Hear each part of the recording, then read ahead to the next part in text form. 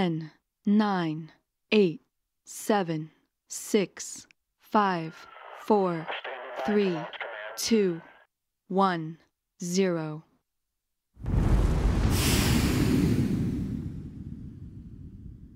Zero ryzyka dla nowych graczy w fuksiarz.pl. Zwrot 100% do 50 zł w gotówce. zero.fuksiarz.pl Głównym sponsorem kanału Zero jest Just Join IT, największy portal pracy dla polskiej branży IT. Partnerem programu jest XTB, właściwe miejsce dla Twoich inwestycji. xtb.pl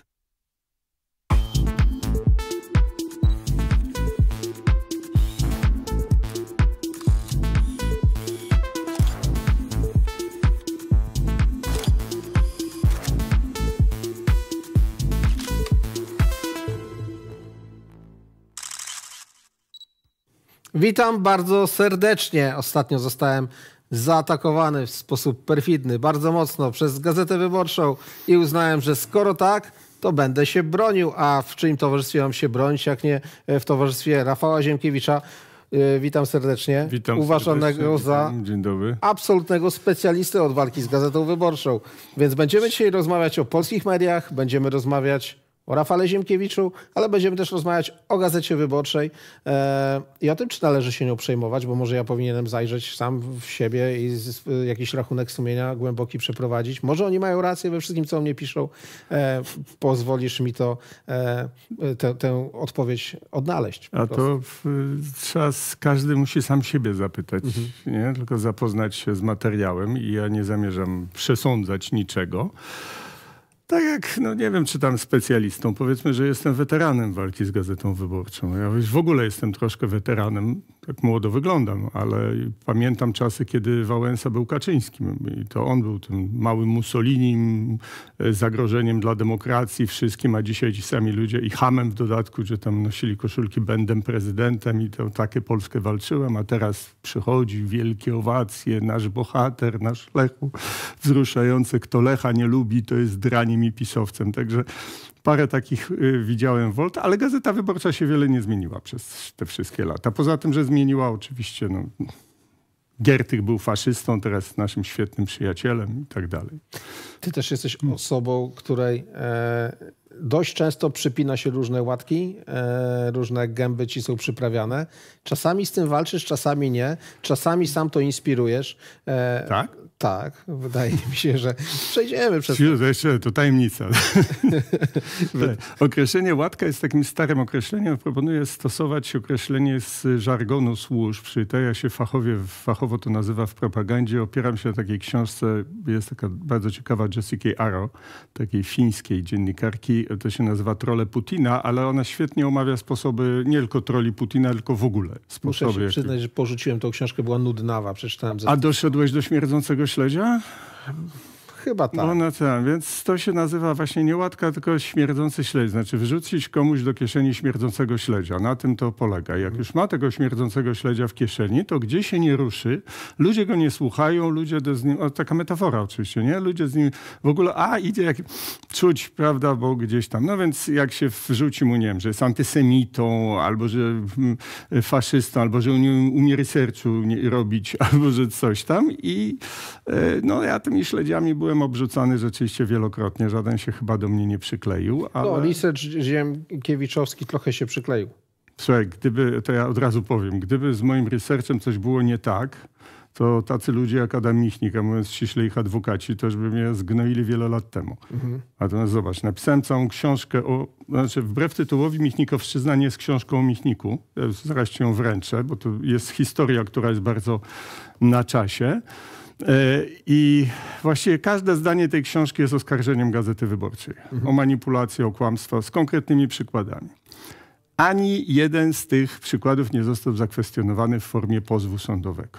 Chociaż Adam Michnik znanym pieniaczem sądowym jest. No ale który- może uznali, że to jest poniżej ich godności z tą walką. A wiesz, co było powyżej ich godności, za co mi Adam Michnik wytoczył proces? Za stwierdzenie, że Adam Michnik terroryzuje swoich przeciwników pozwami sądowymi. I on zareagował pozwem, który ja zresztą przeczytałem, jeżeli ktoś ciekaw, to na YouTubie można znaleźć Ziemkiewicz czyta pozew Michnika, bo pozew jest prześmieszny i w dodatku kompromitujący dla prawnika Gazety Wyborczej. On się tak rozkłada, że są jakby partie publicystyczne, pisane charakterystycznym stylem, który wydaje mi się, że poznaje i argumentacja prawnicza. Argumentacja prawnicza nagle jest y, taka, że w niej Michnik występuje jako powódka. Czyli ktoś tak niechlujnie robił wytnij klej, wklej z innego pozwu, że nawet tego nie zmienił. Ja przeczytałem ten pozew, ale pozew był o to, że mówiąc, że Michnik ludzi terroryzuje, sugeruję, że on uprawia terror, czyli że podkłada bomby, bierze zakładników. Na poważnie. Na, na, na poważnie taki Mhm. był. No, sąd, żeby był najbardziej życzliwy, musiał oczywiście ich posłać na bambus, ale to było jedyne... Nie jesteś terrorystą. To już mamy stwierdzone Tak. sądowo. Są, mam stwierdzone, że nie nazwałem Adama Michnika terrorystą, e, ale tylko Tak, zwracam tak, uwagę, że tak głupi pozew no dowodzi chyba, że trudno się do mojego researchu przyczepić tak naprawdę. No to oczywiście, że gdzieś tam na Twitterze nazwę czasem jakiegoś Stefana Stanisławem albo coś tego typu rzeczy. To są tak zwane lapsusy, oczywiście od tego jest redaktor, żeby takie rzeczy sprawdzać. Poważnie, robiąc dygresję, ja, to co się ta, te ci durnie się tam śmieją, że to niby research Ziemkiewiczowski, to jest coś, z czego ja jestem dumny i co uważam za swoją siłę. Jeżeli jakieś sukcesy w życiu osiągnąłem, to dzięki temu, bo to jest po prostu zasada. Nie skupiaj się na drzewach, patrz na las. U nas nieszczęście mediów wszystkich jest w ogóle, że wszyscy, każdy ma swoje drzewo, reaguje alergicznie, jak mu ktoś się w jego działkę wpycha, bo tu ja jestem od tego drzewa. Natomiast nikt nie patrzy To po z tą całości. dumą to chyba jednak za daleko poszedłeś. No, gdy, tym? z tą dumą z researchu ziem... Dlaczego za daleko? No, bo Bo to, o to chodzi, że dumnym, ja... du, dumnym można być, gdyby, gdybyś był kojarzony wyłącznie z perfekcyjnym researchem. Ale ja nie rozumiem. jestem kojarzony. Ja jestem, e, jest taka próba, żeby mnie poniżyć, żeby mnie ośmieszyć. Tak, ten śmierdzący śledź, że niby coś jest nie tak, że ja niby nie mam warsztatu, prawda, i nie potrafię sobie. Otóż zajrzyjcie w moje książki, wysłuchajcie moich filmów. Oczywiście można się brechtać w nieskończoność, że mówiąc o badaniu aborygenów powiedziałem o Erneście Malinowskim, a to Bronisław Malinowski badał. Oczywiście Ernest to był w, w Peru, budował koleje, rzeczywiście. Straszliwy błąd, który ośmiesza wszystko. Wiktor Surowow, Suworow który napisał też, trochę był w podobnej jak ja sytuacji, no, napisał książki otwierające ludziom oczy na historię akurat, to też opowiadał, że gdzieś tam jakiś w tych pismach radzieckich pisali, że ten Suworow, on pisze, że w czołgu TB7 wahacze tylnej gąsienicy były na śrubach 3,5 centymetra, a one były na śrubach dwucentymetrowych. No to ty jak taki głupiec, to nie rozumie, na jakiej wielkości śruby były na tym, jak go można traktować poważnie tego teorię, że to Stalin chciał pierwszy zaatakować Hitlera, a nie Hitler Stalin. Więc zostawiam to do osądu państwa. No. Ta książka, którą e, przyniosłeś, ona mi się e, skojarzyła troszeczkę z Wiktorem Suworowem, bo Wiktor Suworow, gdy pisał Lodołamacza, do którego pewnie nawiązywałeś, e, to też na wstępie napisał, że on tutaj nie będzie odnosił się do żadnych tajnych dokumentów, które, do których miał wgląd, mógł je zdobyć, ale ktoś by powiedział, że, e, że one tak naprawdę nie istnieją i on sobie je sfabrykował, tylko bazował na ogólnych, e, ogólnie dostępnych cytatach, e, na wiedzy, którą można łatwo zweryfikować i w ten sposób trochę zaczął odkłamywać historię II wojny światowej. Ty podobnie, ta książka polega na tym, że Cytaty. bazujesz Cytaty. na cytatach, które można, może każdy sobie I odnaleźć. co każdy więcej, przeczytać. ja tak perfidnie zrobiłem, że ja y, cytuję wyłącznie przyjaciół Michnika. Co zaznaczam we wstępie. Albo takich ludzi, których na pewno nie można uznać za oszołomów pisowskich, co wtedy jeszcze w ogóle nikt nie śniło o tym, że będzie jakiś PiS. Wtedy mówi się o oszołomach prawicowych, typu, nie wiem, Jan Nowak-Jeziorański, prawda? Tego typu ludzi ce, nie cytowałem y, Krzysztofa Wyszkowskiego, nie cytowałem, nie wiem, Łysiaka, Jerzego Roberta Nowaka. Czy niektórzy z tych, z tych się na mnie obrazili, że ich nie cytowałem, ale ja ich nie cytowałem, bo wiedziałem, że oni już mają tego śmierdzącego śledzia w kieszeni, bo już tam im Gazeta Wyborcza zdążyła go skutecznie wrzucić. A ja chciałem cytować takich ludzi, którzy nie można odbić tego cytatu. I tu jest jeden cytat od którego właściwie można by tę rozmowę na twój temat zacząć. Mianowicie jest taki Tomasz Jastron. Absolutnie nie można powiedzieć, że pisowiec. Szczerze mówiąc, kompletnie zwariowany, wariatunciu kompletnie. Ja miałem z nim taką okoliczność, że kiedyś wchodziłem do jakiejś telewizji, on tam stał, z kimś rozmawiał. Ja przechodząc powiedziałem dzień dobry. On się, ten facet z tym rozmawiał, odpowiedzieli dzień dobry i taka to była interakcja, chyba jedyna, jaką mieliśmy w życiu. I dwa czy trzy dni później w internecie wrzucam swoje nazwisko, bo mama we zwyczaju sprawdzać, co o mnie piszą, A tam jest jakiś felieton Jastruna, że on w nocy spać nie mógł, bo ktoś do niego podszedł, powiedział dzień dobry, więc on odruchowo odpowiedział dzień dobry, a on odpowiedział Ziemkiewiczowi dzień dobry. A, wiesz, jak protestant, jestem przeklęty na wieki. Co to będzie? Jeżeli ktoś zda pana Jastruna, ja powie, że mu oddaje to dzień dobry, żeby on spał spokojnie. Naprawdę, to tylko takie było. Ja wcale mu nie życzyłem dobrego dnia, to jest taki, taki konwenans, ale tylko mówię, żeby nikt nie podejrzewał, że to jest facet jakoś e, pisowski, prawda? I on tu opisuje taką historię, to jeszcze pisał jako smecz u, u świętej pamięci Giedroycia w kulturze, że pewien mój, mówię własnymi słowami, może kto chce sprawdzić, że pewien mój przyjaciel, subtelny pisarz, człowiek zupełnie niekoniecznie, miał wstrząsającą przygodę, mianowicie podszedł do niego, hmm, nazwijmy go były moralista. Były moralista, potykając się o słowa, mu mówi, wpier wpiłeś się w moją działkę. Albo będziesz w mojej grupie, albo ja cię zniszczę. No ja oczywiście nie wiem, kto to jest ten były moralista, który mówi językiem jak Staś Mrywina i potyka się o słowa, ale yy, Krzysztofie, jeśli mogę się raz ciebie, wpierdoliłeś im się w działkę.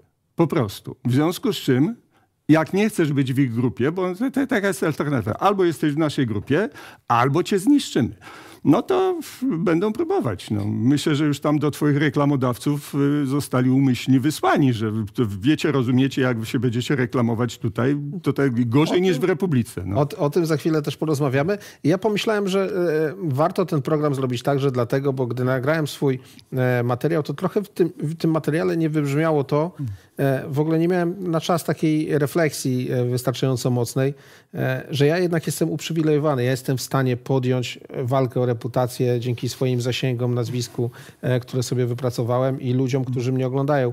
Natomiast ile osób na przestrzeni ostatnich 20-30 lat nie miało takiej możliwości i e, przypinano im łatki, czy wrzucano śmierdzące śledzie do kieszeni e, w taki sposób, że nie były w stanie się w ogóle obronić.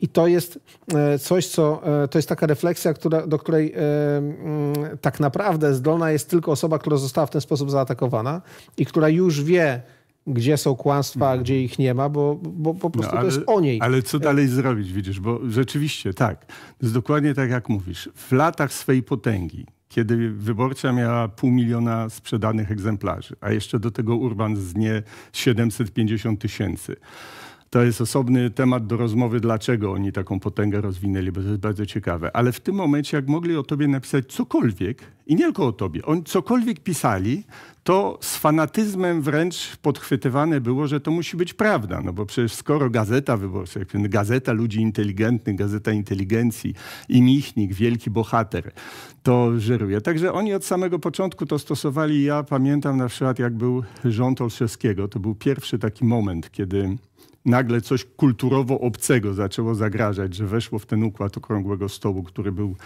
y, pewnym takim układem w rodzinie. E, I Gazeta Wyborcza wyciągnęła krążący po Sejmie projekt ustawy, który napisał taki senator Mazur. Ja nawet nie wiem, czy on jeszcze żyje, ale z Solidarności. On napisał taki swój projekt dekomunizacji szalenie ostry że tam do, w urzędach gminy wszystkich komunistów wybrać. I gazeta to zaczęła, wydrukowała, że to jest jakiś tajny projekt Macierewicza, który jest przygotowywany w ministerstwie. No wszyscy dziennikarze wiedzieli, że to jest bzdura, bo to chodziło od kilku miesięcy. Oni udały, że tu nasi dotarliśmy do projektów, które ten, oczywiście wzbudzili oburzenie, bo jest, co jest ważne, czytelnik Gazety Wyborczej czy odbiorca tej propagandy jest nieustannie oburzony jest nieustannie oburzony. Jak przeżysz stare numery Gazety Wyborczej, tam jest, że gdzieś tam, jak nie mają większych, to gdzieś tam w jakimś, przepraszam, Pierdziszewie Śląskim jakiś radny protestował przeciwko nazwaniu ulicy ulicą Bruna Jasińskiego, mówiąc, że Artur Zysman to był, znaczy ten Bruno Jasiński to był Żyd i komunista, chociaż akurat był komunistą pochodzenia żydowskiego. No nie wiem, czy można powiedzieć, że Żydem się nie czuł, ale i to jest straszne oburzenie. Ach, te oszołomy prawicowe, ten ciemnogród polski, ta dzicz polska non stop. Dzień w dzień, dzień w dzień. Ale w tym wypadku akurat to było bardzo istotne, bo montowali taką wspólnotę. Bardzo to było ważne, dlatego pamiętam te, te historię. Montowali taką wspólnotę. Jakakolwiek dekomunizacja zagraża wam wszystkim. To są jacyś szaleńcy od tego wszystkiego. Oni chcą nawet w gminie dekomunizować.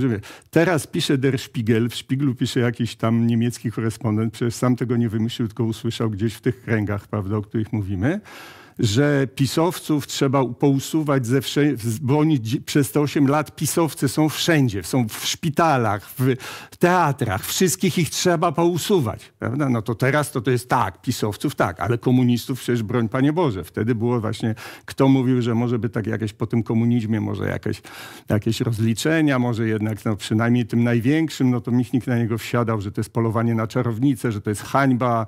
Od razu jechał takim argumentem, że ja wtedy nie byłem taki ostrożny, żeby teraz być tacy odważni, bo tu bohaterowie ostatniej chwili, wiesz, ludzie tacy jak Krzysztof Wyskowski, który Wałęsę w ogóle wpuścił do tego kurnika, e, Adam Gwiazda czy Macierewicz, który Michnika do koru przyjmował, prawda? To oni się nagle stało, że oni nie byli odważni i oni teraz są radykałami ostatniej godziny, a Michnik tutaj sama szlachetność, mówi nie, wybaczamy tego. I, I, to jest charakterystyczne, że wtedy było wybaczenie dla komunistów, nawet dla zbrodniarzy, bo to też dotyczyło, żeby nie ruszać sprawy tych listy Rokity, tych, tych stu kilkudziesięciu ofiar tajemniczych y, sprawców. Natomiast dzisiaj oczywiście dla pisowców to u nie, to nie ma. Nawet jak dostał przez ostatnie 8 lat został kierownikiem poczty, to tam już Gazeta Wyborcza drukuje takie listy proskrypcyjne, nie wiem czy widzieliście, nie? Że tu, tu, tu jeszcze są nominaci PiSu. Ej, ale Pustu, może, zobacz, to, zrób z tym coś. Może, może e, powód jest inny, może za daleko idziesz. E, Gazeta Wyborcza e, to są jednak ludzie, którzy e, się zmieniają. E, w roku 89 czy 90 kto inny tą gazetę tworzył, dzisiaj tworzy e, kto inny. Wtedy Adam Michnik mógł mieć taką refleksję, dzisiaj jego następcy mogą mieć zupełnie inną. Ale Nawet on dalej jest redaktorem naczelnym. No, ale nie, nie, nie patrzyłeś w stopkę. Ale nie no. aktywnym, no powiedzmy sobie. A ja nie wiem, Tak ale... mi się wydaje przynajmniej, że nie jest zbyt aktywnym. Napisałeś takie zdanie w tej książce. Wielcy myśliciele nie pozostawiają po sobie klakierów, pozostawia, pozostawiają uczniów, całe intelektualne szkoły. Miałeś na myśli to, że właśnie e, Adam Michnik e, jedyne, co, jedynie klakierów po sobie mm. pozostawił. Być może to jest takie drugie pokolenie klakierów, którzy uważają, że trzeba być już bardzo radykalnym, a on sam mm, tak radykalny by nie był. Znaczy, on był niewątpliwie sprytniejszy. No to jest taka ewolucja, wiesz, to kiedyś w czas, pochlebem sobie, że w czasach, jak ja postanowiłem wypowiedzieć wojnę temu środowisku, z pozycji absolutnie nikogo, takiego faceta, co pisze po prostu i drukuje w małych gazetach, bo pierwotnie w żadnych dużych mnie nie chcieli. E, może dlatego, że byłem słaby, może z jakiegoś innego powodu. To wtedy to było środowisko, wiesz, to byli tacy ludzie jak Bronisław Geremek, e, to byli tacy ludzie jak redaktor Jerzy Turowicz, e, jak ksiądz Tischner. Tam wokół nich się kręcili ludzie typu Miłosz, wiesz, jacyś Czesław, nie, nie Miłosz Motyka z PSL-u, nie. Czesław Miłosz, jacyś Wajda, prawda, nobliści, laureaci Oscarów, to, to, to, to, to było rzeczywiście cokolwiek sądzić o, o, tezach, jakie głosili i o ich działalności politycznej, to to byli ludzie, z którymi no, przyjemnie było zadzierać. Natomiast jak dzisiaj to jest środowisko, którego poziom intelektualny wyznacza Tomasz Lis wiem, z Tomaszem Piątkiem i kręcą się wokół tego artyści typu reżyserzy tam jakichś telenowel telewizyjnych, to, to oczywiście, że to nie jest to samo. Wiesz, dwa dni temu pan Bartkowiak, przewodniczący zarządu Agory, na pewno to widziałeś, tak wypowiedział na temat swojej gazety, że on tu nas składają do trumny, a my nie, nie kładziemy się do trumny, my jesteśmy zombie, który groźny zombie, który wstaje i wychodzi. To na... nie jest dobra e, laurka. To jest cudowne. No, co to jest zombie? Trup który ginije, ale mimo wszystko łazi. Palce mu odpadają jeden po drugim, tam połowę ludzi już zwolnili, ale jeszcze cały czas z grobu wyłazi i usił i kąsa z tym trupim jadem zaraża. No i co robi zombie? Wyżera mózgi. I po prostu, panie Bartkowiak, no Brylant. Ja, ja, ja bym myślał całą noc i bym nie wymyślił lepszej, lepszej metafory na gazetę wyborczą niż pan wymyślił z tym zombie. Także oczywiście mówimy teraz o, o, o, zupełnie innym etapie, także ze względu na to, że się zmieniły czasy. Przecież no, ta formacja społeczna, która wyniosła Michnika do, do roli półboga, to są dziś, tak jak samo jak i on, to są dzisiaj już ludzie no, schodzący mhm. powoli za ręki, jak to starsi panowie śpiewali. Mhm. E, na ekranie zobaczycie e, za chwilę licznik e, naszych subów, bo jest całkiem możliwe, że dzisiaj wybije nam milion subów. To od Was przede wszystkim zależy. Jak widzicie, już niedaleko, e, więc ten licznik co jakiś czas tam sobie będzie pykał, pykał, pykał. E, ku złości Gazety Wyborczej, która pewnie by chciała, żeby w drugą stronę ten licznik się kręcił, w stronę zera. Natomiast niestety, ale póki co kręci się w stronę miliona, potem być może nawet drugiego.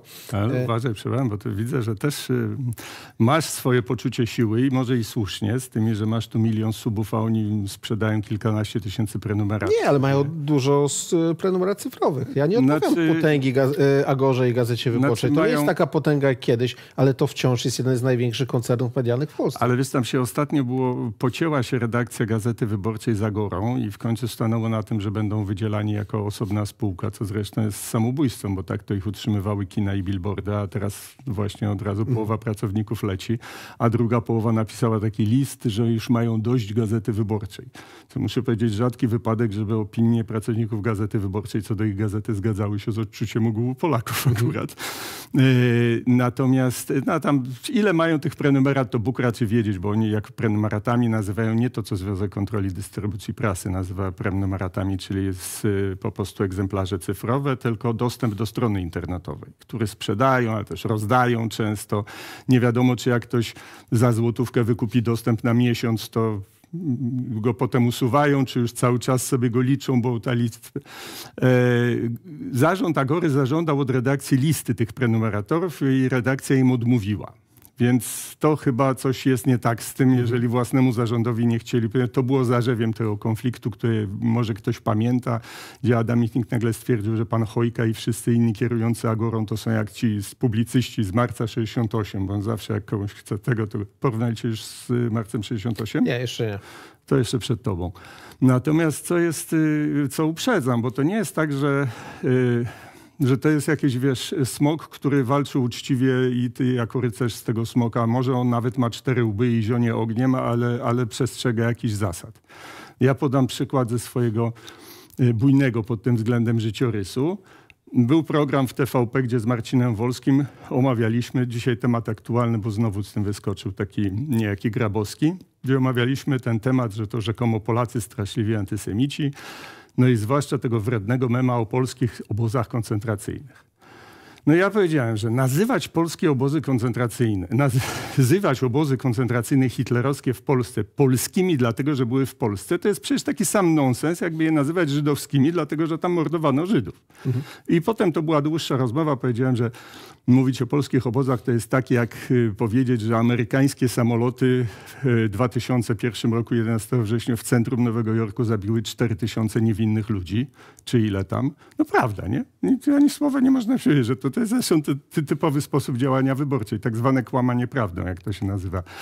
W tym sensie ten przykład z samolotami się nie przebił, natomiast powiedziałem też, albo jakby powiedzieć, że Żydzi sami dla siebie zbudowali ten obóz, y, pomijając tę istotną część informacji, że zrobili to pod lufami i batugami SS-manów. Mija tydzień w szacownym New York Timesie, czy takim starszy, starszej siostrze Gazety Wyborczej, ukazuje się artykuł napisany przez pańcie z Wyborczej, że w Polsce jest taki antysemity, że w państwowej telewizji niejaki Ziemkiewicz nazwał Auschwitz żydowskim obozem koncentracyjnym i powiedział, że to Żydzi sami go sobie dla siebie zbudowali. Oczywiście New York Times nie przyjmuje żadnych tam sprostowań. Tego musiałbym wynająć kancelarię prawną w Nowym Jorku, co trochę przekraczało moje możliwości wtedy, miałem inne wydatki.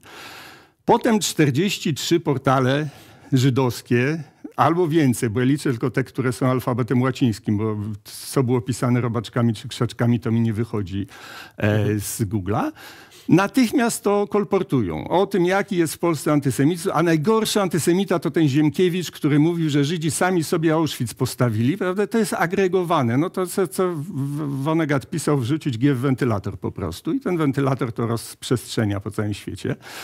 No i wiesz, i co z tym możesz zrobić? W pewnym momencie człowiek przestaje się bronić, mówi, no, dobra, to już przygnęło, już z tym nie wygram. Znaczy, po prostu no, śledź śmierdzi. Nawet jak go wyrzucisz, to jest ci zaśmiardła marynarka. Właśnie dlatego oni tej metafory używają. Z takimi ludźmi masz do czynienia. A z drugiej strony, no jak powiesz Amerykanie amerykańskie samoloty zabiły tysiące niewinnych ludzi, zupełnie niewinnych, którzy przyszli sobie do pracy, amerykańskie samoloty ich zabiły. No, każdy sobie, aha, leciały, bombę spuściły, prawda, jak w Melai w Wietnamie tego. I, i, I ktoś ci powie, ale to nie jest prawda. Jak to nie jest prawda? A jakie to były samoloty? Ze Sri Lanki przyleciały, prawda? Czy ten? Więc, więc y, sprawny propagandysta, a Michnik paru sprawnych propagandystów zebrał, potrafi naprawdę takie różne sztuczki robić. Y, wiele, wiele przykładów byśmy tutaj mogli podawać. Nie tylko oczywiście z Gazety Wyborczej, bo przecież to nie jest jedyna to nie jest jedyny smok na świecie, z którym trzeba walczyć. A jaki przykład e, jest najdobitniejszy, jeśli chodzi o, o e, bezczelność manipulacji? Przychodzi ci do głowy Taki, taka jedna historia, gdy kogoś absolutnie rozsmarowano e, i było to nieuzasadnione? Znaczy, bezczelność to przez wtedy, jak oni potrafią jechać kompletnie wbrew jakimkolwiek faktom. To znaczy coś zmyślić. No. Mhm. I, I wiesz, i potem jest to w kółko, w kółko powtarzane. No, śmierć Pawła Adamowicza. Masz sąd, sąd, który to bada, stwierdza, nie ma absolutnie, absolutnie żadnej przesłanki, że ten Przemysław W., czy jak on się tam nazywał, ten zbrodniarz, że on w jakikolwiek sposób był inspirowany krytyką prasową swojej ofiary, bo wiadomo, że on sobie z jakich powodów e, to, to, to, to była zupełnie inna Zresztą historia. ta krytyka e, z wielu stron znaczy, Powiedziałbym, że głównie szła ze strony propagandy peowskiej wtedy, ponieważ to akurat on był zdrajcą PO, bo odmówił, po prostu chcieli go zdjąć z listy, tam miał Wałęsa junior zostać, taka była ustalenie wewnątrz partii, a on się zbuntował, powiedział, nie, ja tu jestem od iluś tam kadencji, podoba mi się, będę dalej. Więc tam po nim jechali po tych Newsweekach, y, Onetach, prawda, ale to nieważne, ponieważ ten facet sobie wymyślił, że akurat Adamowicz jest winien jego, y, tego, że go uwięzili, za co y, i nie miał to nic wspólnego z tym, co pisały gazety albo czy oni pisały gazety. Ale stworzono takiego mema, no i chodzi. Zamordowali. PiS zamordował Adamowicza. No. Albo, wiesz, posłanka Patusiara, która kompletnie sfiksowana na punkcie walki z pisem do tego, że swojego syna najpierw zostawiała z pedofilem, jak ten syn go Ale, skrzywdził. Y, chyba słowo Patusiara to zostawmy, nie, nie używajmy tego. Będzie pewnie zaraz mi pozwy wysyłać, ale... Nawet nie jak, chodzi mi o jej dobrze, pozwy, ale o, ale jakąś jak, wrażliwość dobrze, naszych ale, ale jak to nazwiesz? No? Kobieta, której syn jest po próbie samobójczej, przecież to jest wołanie o pomoc, ratunku. Może z pedofilem to może nie wiedziała. Z, z tym tematem się zacząłem... trochę źle czuję, bo zakładam jednak, że e, gdzieś tam po drugiej stronie jest osoba, która bardzo cierpi dobrze, i dokładanie jej do dobrze, pieca ale leci się potrzebne. z tego cierpienia, budując scenę, że wiesz, sorry, dziecko po samobójczej, matka wrzuca na Facebook dumna. Ja nawet własnego syna nie mogę od tygodni zobaczyć, bo tu walczę, walczę, znaczy walczę, krzyczy PiS, prawda, pod różnymi biurami poselskimi. No i potem jak dochodzi do tragedii, kto jest winien? No Jarosław Kaczyński zabił, Rafał Ziemkiewicz jej zabił syna, y, TVP Info jej zabiło syna, Radio Szczecin. Wszyscy są winni, prawda? Ale powiedzmy też sobie szczerze, Pytałeś on... o taki najbardziej tak. bezczelny. Ale to no w tym jest... momencie, no nie tak. chciałbym być adwokatem Gazety Wyborczej, nie po to jest ten program. E, natomiast powiedzmy sobie szczerze, że przez ostatnie e, lata TVP dużo zrobiło do tego, e, żeby nie być najbardziej wychwalanym Ale medium w Polsce. To ja z kolei nie jestem adwokatem TVP i doskonale wiem, co oni źle zrobili, dlaczego to było, ale akurat nie zabili żadnego człowieka młodego, ani, ani starego. Nie zabili ani Adamowicza, ani nie zabili syna tej posłanki. Mhm. Ja rozumiem ból, wszystko i tak dalej. Jak pytasz o... Te, y, zobacz, ty nawet masz teraz, bo to na tym polega, robisz coś tak podłego, że ludzie, którzy, no, no tak, no coś w tym jest podłoga, ale z drugiej strony, no jednak przyzwoitość mówi, może lepiej ciszej nad tą trumną, może to zostawmy. Ja się też chwilę zawahałem, czy ten temat ruszać, ale ponieważ pytasz o najbardziej bezczelne, no to to jest mhm. właśnie wyjątkowo bezczelne, bo teraz jeżeli komuś zarzucasz, że jest mordercą, prawda? I, a ty, no nie bardzo muszę odpowiedzieć, bo myślę, no tam jest matka, która cierpi. Ja nie wiem, nie znam jej osobiście, ale pewnie może żałuje tego, co robiła, że może dzisiaj by robiła inaczej, może no, jest jesteś na wystarczająco pozycji. wiele innych historii, żeby akurat w tej się nie babrać. No to zostawmy tej historii, ale, ale tak, tak, tak to działa. No po prostu teraz e, i w tej grze, zobacz, ktoś, kto ma odruch przyzwoitości jest przegrany bo oni nie mają żadnego zahamowania, żeby jechać po tym, że mhm. winien jest ktoś, kto, a ja akurat jestem z tą sprawą związany zupełnie przypadkiem, bo jak mm, Tusk, więc ja w ogóle się nie odnosiłem do tego, co napisała, tylko Tusk nagle o siódmej rano się obudził, co mi się chyba rzadko zdarza, żeby napisać takiego tweeta, że o, my tutaj pomścimy śmierć biednego dziecka, które PiS zamordował i tak dalej.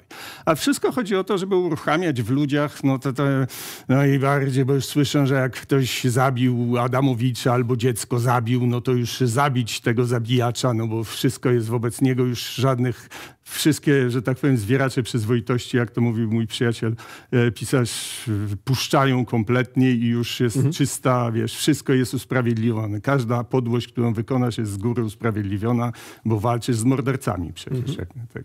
e, wśród moich antagonistów bardzo często e, jest dyskusja, skąd Kanał Zero miał pieniądze na to, żeby powstać, że to w ogóle niemożliwe, żeby nie powstać bez udziału partii, która e, pomaga.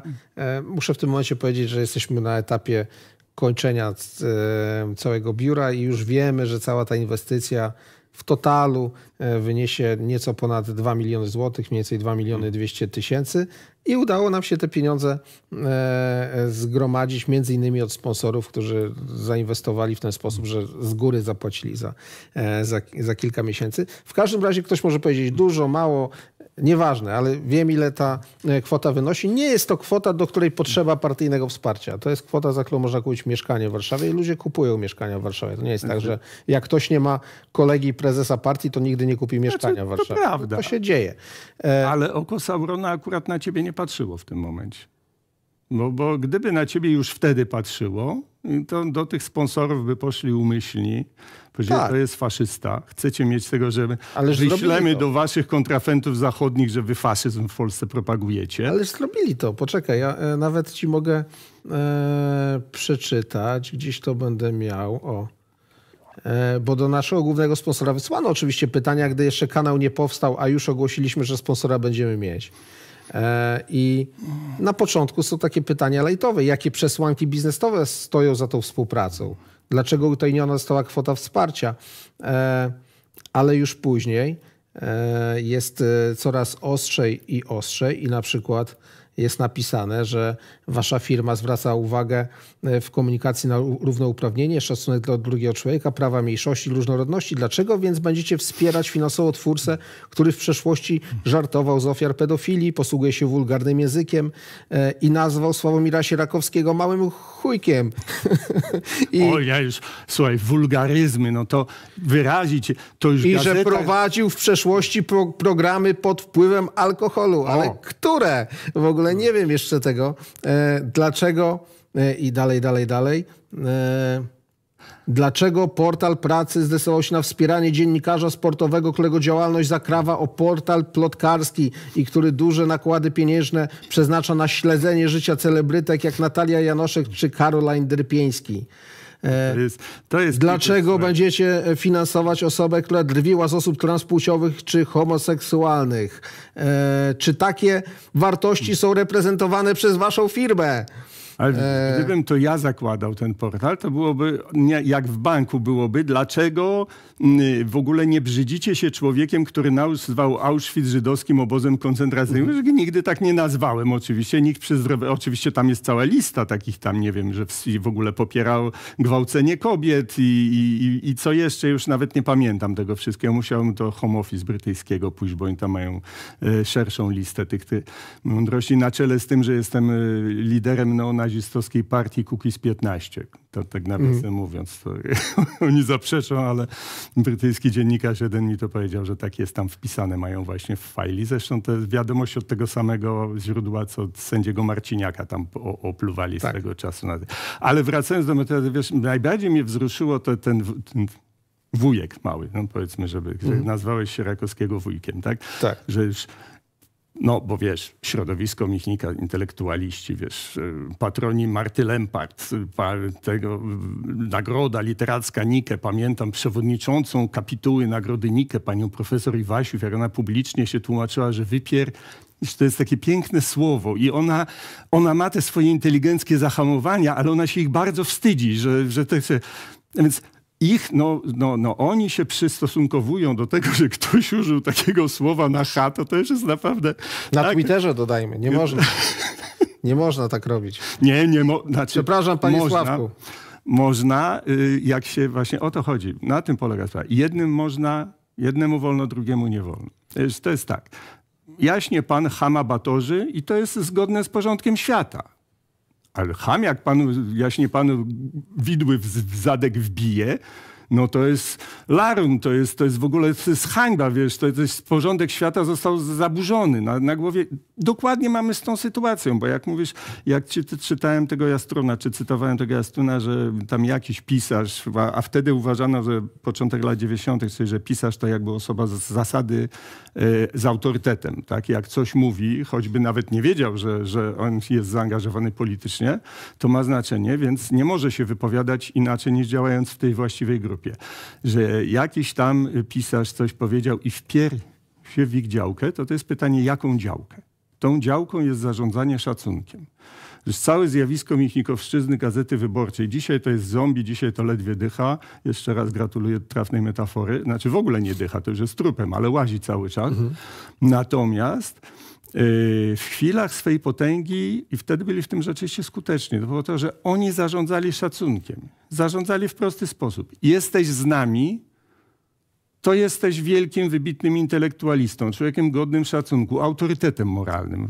Śmieliśmy się w 90 latach, ale to było bardzo niszowe grono, w którym się śmieliśmy z tego określenia autorytet moralny.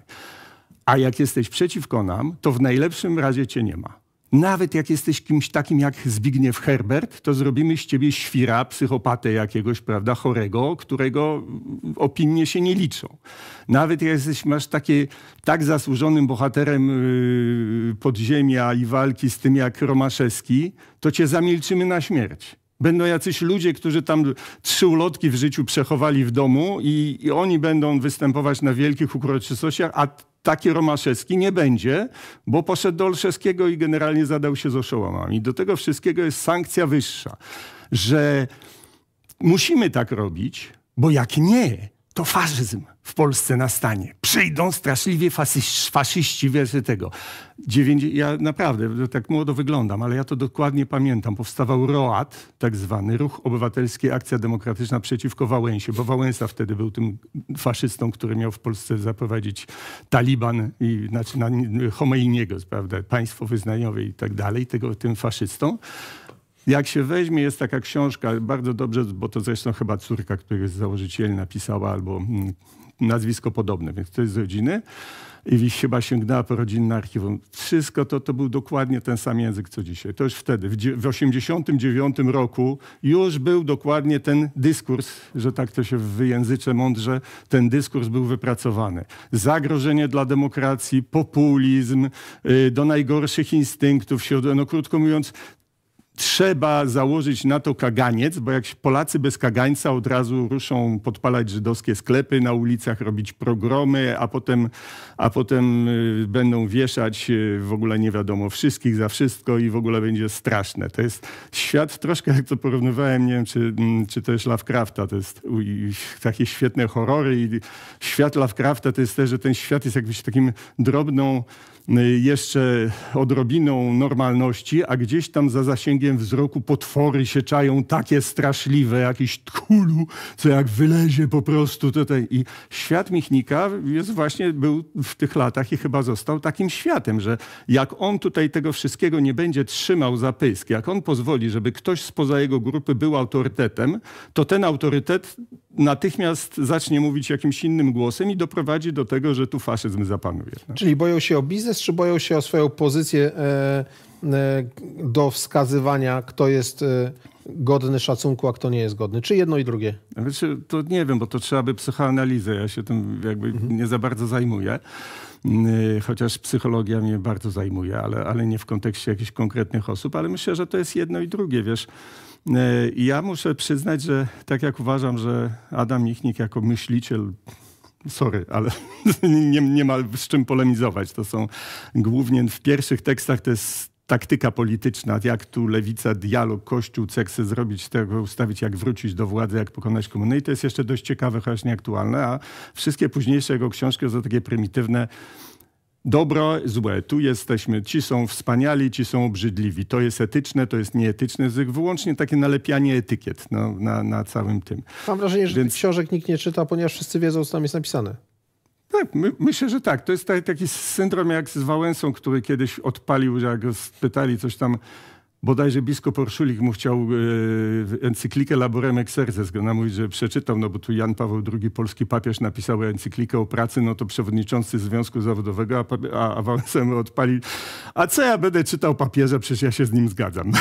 No, no to właśnie to tak samo, to tutaj z Michnikiem że rzeczywiście tak działało, nikt tego nie czytał, no ale, ale powiedzmy, że jako, jako, jako mm, myśliciel to, to słabo, natomiast muszę mu oddać e, za te lata 90., że to jak zmontował tę swoją, jak stworzył tę swoją pozycję tego oberguru, tego człowieka, co jak coś powie, to we wszystkich biurach w Warszawie, we wszystkich w całej Polsce, we wszystkich biurach, we wszystkich e, pokojach nauczycielskich, prawda, i, i, i wszystkich takich miejscach, to jest święte. To jest świętsze niż Pan Bóg powiedział, bo Pana Boga, jak wiadomo, nie ma, przynajmniej niektórzy tak twierdzą, a, a Michnik jest. Więc y, on to zrobił między innymi taką, taką mm, e, świetną sztuczką erystyczną, wiesz, że jak budujesz wokół siebie taką pigułę i e, znaczy dwie rzeczy, wiesz, ja przepraszam. Pierwszą muszę podstawować. On przede wszystkim zbudował wspaniały mit dla polskiej tak zwanej inteligencji pracującej. Bo to jest warstwa niedoceniana. Dzisiaj się to nazywa budżetówką, za komuny się to nazywało inteligencja pracująca, czy właśnie te biura, pokoje nauczycielskie, to wszystko. To byli ludzie generalnie wpływowi którzy tak naprawdę, no co, żyli? No żyli po prostu w PRL-u. No, niektórzy byli w partii, niektórzy w tej partii nie byli, niektórzy się bardziej tam uświnili, niektórzy, ale nikt tam jakichś wielkich nie robił tego i zresztą nie można wymagać, bo to też sobie narzucamy jakieś takie, że wywiedzione z Piłsudskiego, że każdy powinien o niczym innym nie myśleć, tylko non stop Polskę walczyć, prawda? Bo, bo ten. I teraz wychodzi Michnik, i kiedy się to wszystko tąpnęło i mówi, że to oni obalili. No dwie rzeczy. Po pierwsze, trzeba było z tego sukcesu wysiudać robotników, bo to robotnicy tak naprawdę oni ponieśli największe ofery, oni strajkowali i oni z tego strajków dostali no w zęby. No. Po prostu zostali wysiudani kompletnie. Jako klasa społeczna stracili wszystko ta wielkoprzemysłowa klasa robotnicza została. Nie można było im powiedzieć, że oni coś mają jakieś zasługi, no bo to wtedy by się miał dyskomfort psychiczny. Więc tego, że są roszczeniowi, że głupi, że nie dorośli do, tu pani Lipińska ich wykpiła w kabarecie, tu ktoś tam, powiedział, że robole, oni tylko o kiełbasę strajkowali. To kto tak naprawdę obalił komunizm? A Michnik swoim czytelnikom powiedział, wy, Byliście, tu taka metafora z Miłosza, byliście kamieniami, po których lawina biegła i te kamienie zmieniają bieg lawiny. Lawina bieg od tego zmienia, po jakich toczy się kamieniach. Kamienie i lawina to jest tytuł książki kuriozalnej, którą dwie panie z Wyborczej napisały i we wstępie piszą, że tę książkę wymyślił Adam Michnik, właściwie, ale nie miał czasu napisać, to nam kazał i my napisałyśmy. I to jest ten mitotwórcza książka, że inteligencja swoją odmową, niezgodą i uporem, to cytat z Herberta, Herbert został potem oszołomem, bo, bo, bo, bo nie przyłączył się do tej grupy, ale właśnie to oni sprawili, i jeszcze mało tego, żeby dostosować ten mit do rzeczywistości i okazali się tą szlachetnością, że rozumnie się wyrzekli zemsty. Czyli po prostu słyszysz, bierzesz tę gazetę do ręki i czytasz, jesteś wspaniały. Myślałeś, że ty żeś się tam w, w tym PRL-u ukrywał, chodziłeś na tego 1 maja, nie byłeś odważny, nie tego. Nie, byłeś kamieniem, który zmienił bieg lawiny. I tutaj ten genialny numer artystyczny, który chyba Michnik pierwszy wymyślił, bo studiowałem te tematy i nie, nie zauważyłem, że gdzie indziej było, że wiesz, jak powiesz człowiekowi, ja jako mądry facet, węższy od ciebie, ja ci mówię, że jest taki tak, on może uwierzyć. Ale Michnik co innego. My, proszę pana, jako mądrzy ludzie, wszyscy wiemy, prawda, że jest tak i tak. No i taki gościu, który słyszy, my, ja i Adam Michnik, tak, tak, oczywiście. Wszyscy wiemy, że jest tak i tak, prawda? Że ci są głupi, ci są mądrzy. To jest ohydne, to jest śliczne. Esbeckie archiwa to jest szambo i tak dalej. Tak, panie Adamie, my ludzie na pewnym poziomie wiemy to wszystko. Zmontował po prostu jakąś wspólnotę i na tym polegała ta siła. No. Gdzie Roman Graczyk pisał, że w pokoleniu jego rodziców po prostu e, zakute kompletnie dla nich Adam Michnik jest Bogiem i cokolwiek byś powiedział, to cię od razu dyskwalifikuje, że, że w ogóle śmiesz się mu przeciwstawiać. No. Ja zacząłem zadawać e, pytanie i w zasadzie go nie dokończyłem, mówiąc o kosztach tego studia i o to, że o, kto to sponsoruje. Miałem na pewno jest, zagadywać. Na pewno jest to jakieś e, drugie dno. Mhm. E, to chciałem zapytać o to, jak powstała Gazeta Wyborcza. To to jest pytanie, wiesz, no nie wiem, do Antoniego Dudka, może do Sławomira Cęckiewicza, który tam z profesorów bardziej y, nad tym e, pracuje. Natomiast czy, czy do kogo ma większe zaufanie ktoś, ale jest książka pana Stanisława Remuszko, nieżyjącego już niestety, Mhm. na ten temat Początki źródła Gazety Wyborczej, bo e, Ryszard Bugaj mówił, że, to, że wyborcza to było jakby ostatnie uwłaszczenie nomenklatury. To jest rzeczywiście, ona powstała jeszcze na zasadach PRL-owskich, to znaczy dostała przydział papieru, dostała drukarnię, wydawana była tak samo jak Trybuna Ludu, czy inne na tych samych zasadach. A to jest w ogóle, wiesz, część pytania o ład medialny w Polsce. Bo to są wielkie majątki, które potem się wytworzyły na skutek jakiejś politycznej decyzji. Przy okazji wyszły wielkie majątki. No tak, bo ci, co tam potem mieli, dlatego właśnie Bugaj mówił, że to było uwłaszczenie nomenklatury, bo nic nie zainwestowali, a mieli ogromne przy tym. Był moment, że te akcje miały wielkie przebicie, ludzie sobie tam stawiali domy i jakieś inne. Nie, żebym zazdrościł, no ale też tam e, Bugaj sugerował, że mogliby na przykład stworzyć jakiś fundusz dla ludzi, działaczy podziemia, którzy żyją w nędzy dzisiaj, bo jest takich wielu. Pytam o to dlatego, bo jeśli ktoś mi zarzuca niezgodnie z prawdą, że stoją za tym polityczne pieniądze, no to chciałem przypomnieć, że polityczne pieniądze stały za powstaniem Gazety Wyborczej. Stały polityka, czy w ogóle polityka stała. Znaczy te pieniądze jakby, no wiesz, y, pieniądze się biorą z polityki. Żyjemy w takim układzie, że pieniądze Niekoniecznie, się biorą z polityki. No. Niekoniecznie, ale dobrze, ale, no, ale mm, to nie do końca właśnie jest w tej chwili zdrowa sytuacja, bo przykład Republiki, dla której pracuję, no pokazuje, wiesz, y, oglądalność stacji wzrasta 33 razy, a wpływy z reklam czterokrotnie. Bo są listy proskrypcyjne i dlaczego się kończy? Tam rzeczywiście powiedziałem coś takiego strasznego na antenie Republiki. No kto sprawdzi, to wie, że to jest kompletna bzdura. Codziennie się w różnych miejscach mówi dużo gorsze rzeczy i nic się nie dzieje. Tylko po prostu właśnie duże koncerny wiedzą, że lepiej z rządem nie zadzierać. Jak mają wyraźny sygnał od gazety, która jest nie dość, że gazetą partyjną, ona jest jakby o, biuletynem nawet nie samej partii, tylko takiej grupy największych świrów, najbardziej radykalnych, którzy są w tej partii. I ta gazeta drukuje listy i mówi, kto jeszcze patrzymy na was? Wasz spot się ukazał w Republice, mamy was na celowniku. Nie, no to było żałosne. No i tłumaczą się jacyś ludzie z domów mediowych, którym się przykłada mikrofon pod usta i mówią, no przepraszamy, rzeczywiście ta reklama się jeszcze ukazała, ale już za tydzień będzie. I e, są, oni wręcz się boją, że jak powiedzą, że, że ta reklama dalej będzie latać, to będzie śledztwo na ich temat. Skąd Ale- oni mają pieniądze, kim są w ogóle. To jest e, e, niezdrowa rynkowa sytuacja. Gdy, Nie jest rynkowa To w ogóle sytuacja. tak, no nie jest W tym rynkowa kraju, sytuacja. To jest wykorzystywana pewna przemoc ekonomiczno-polityczna. Przypomnę, że w Polsce, przepraszam za określenie ten kraj, tak mi się powiedziało. Amerykanie to mówią z dumą, więc ten, ale u nas to funkcjonuje jako trochę nieprzyjemne.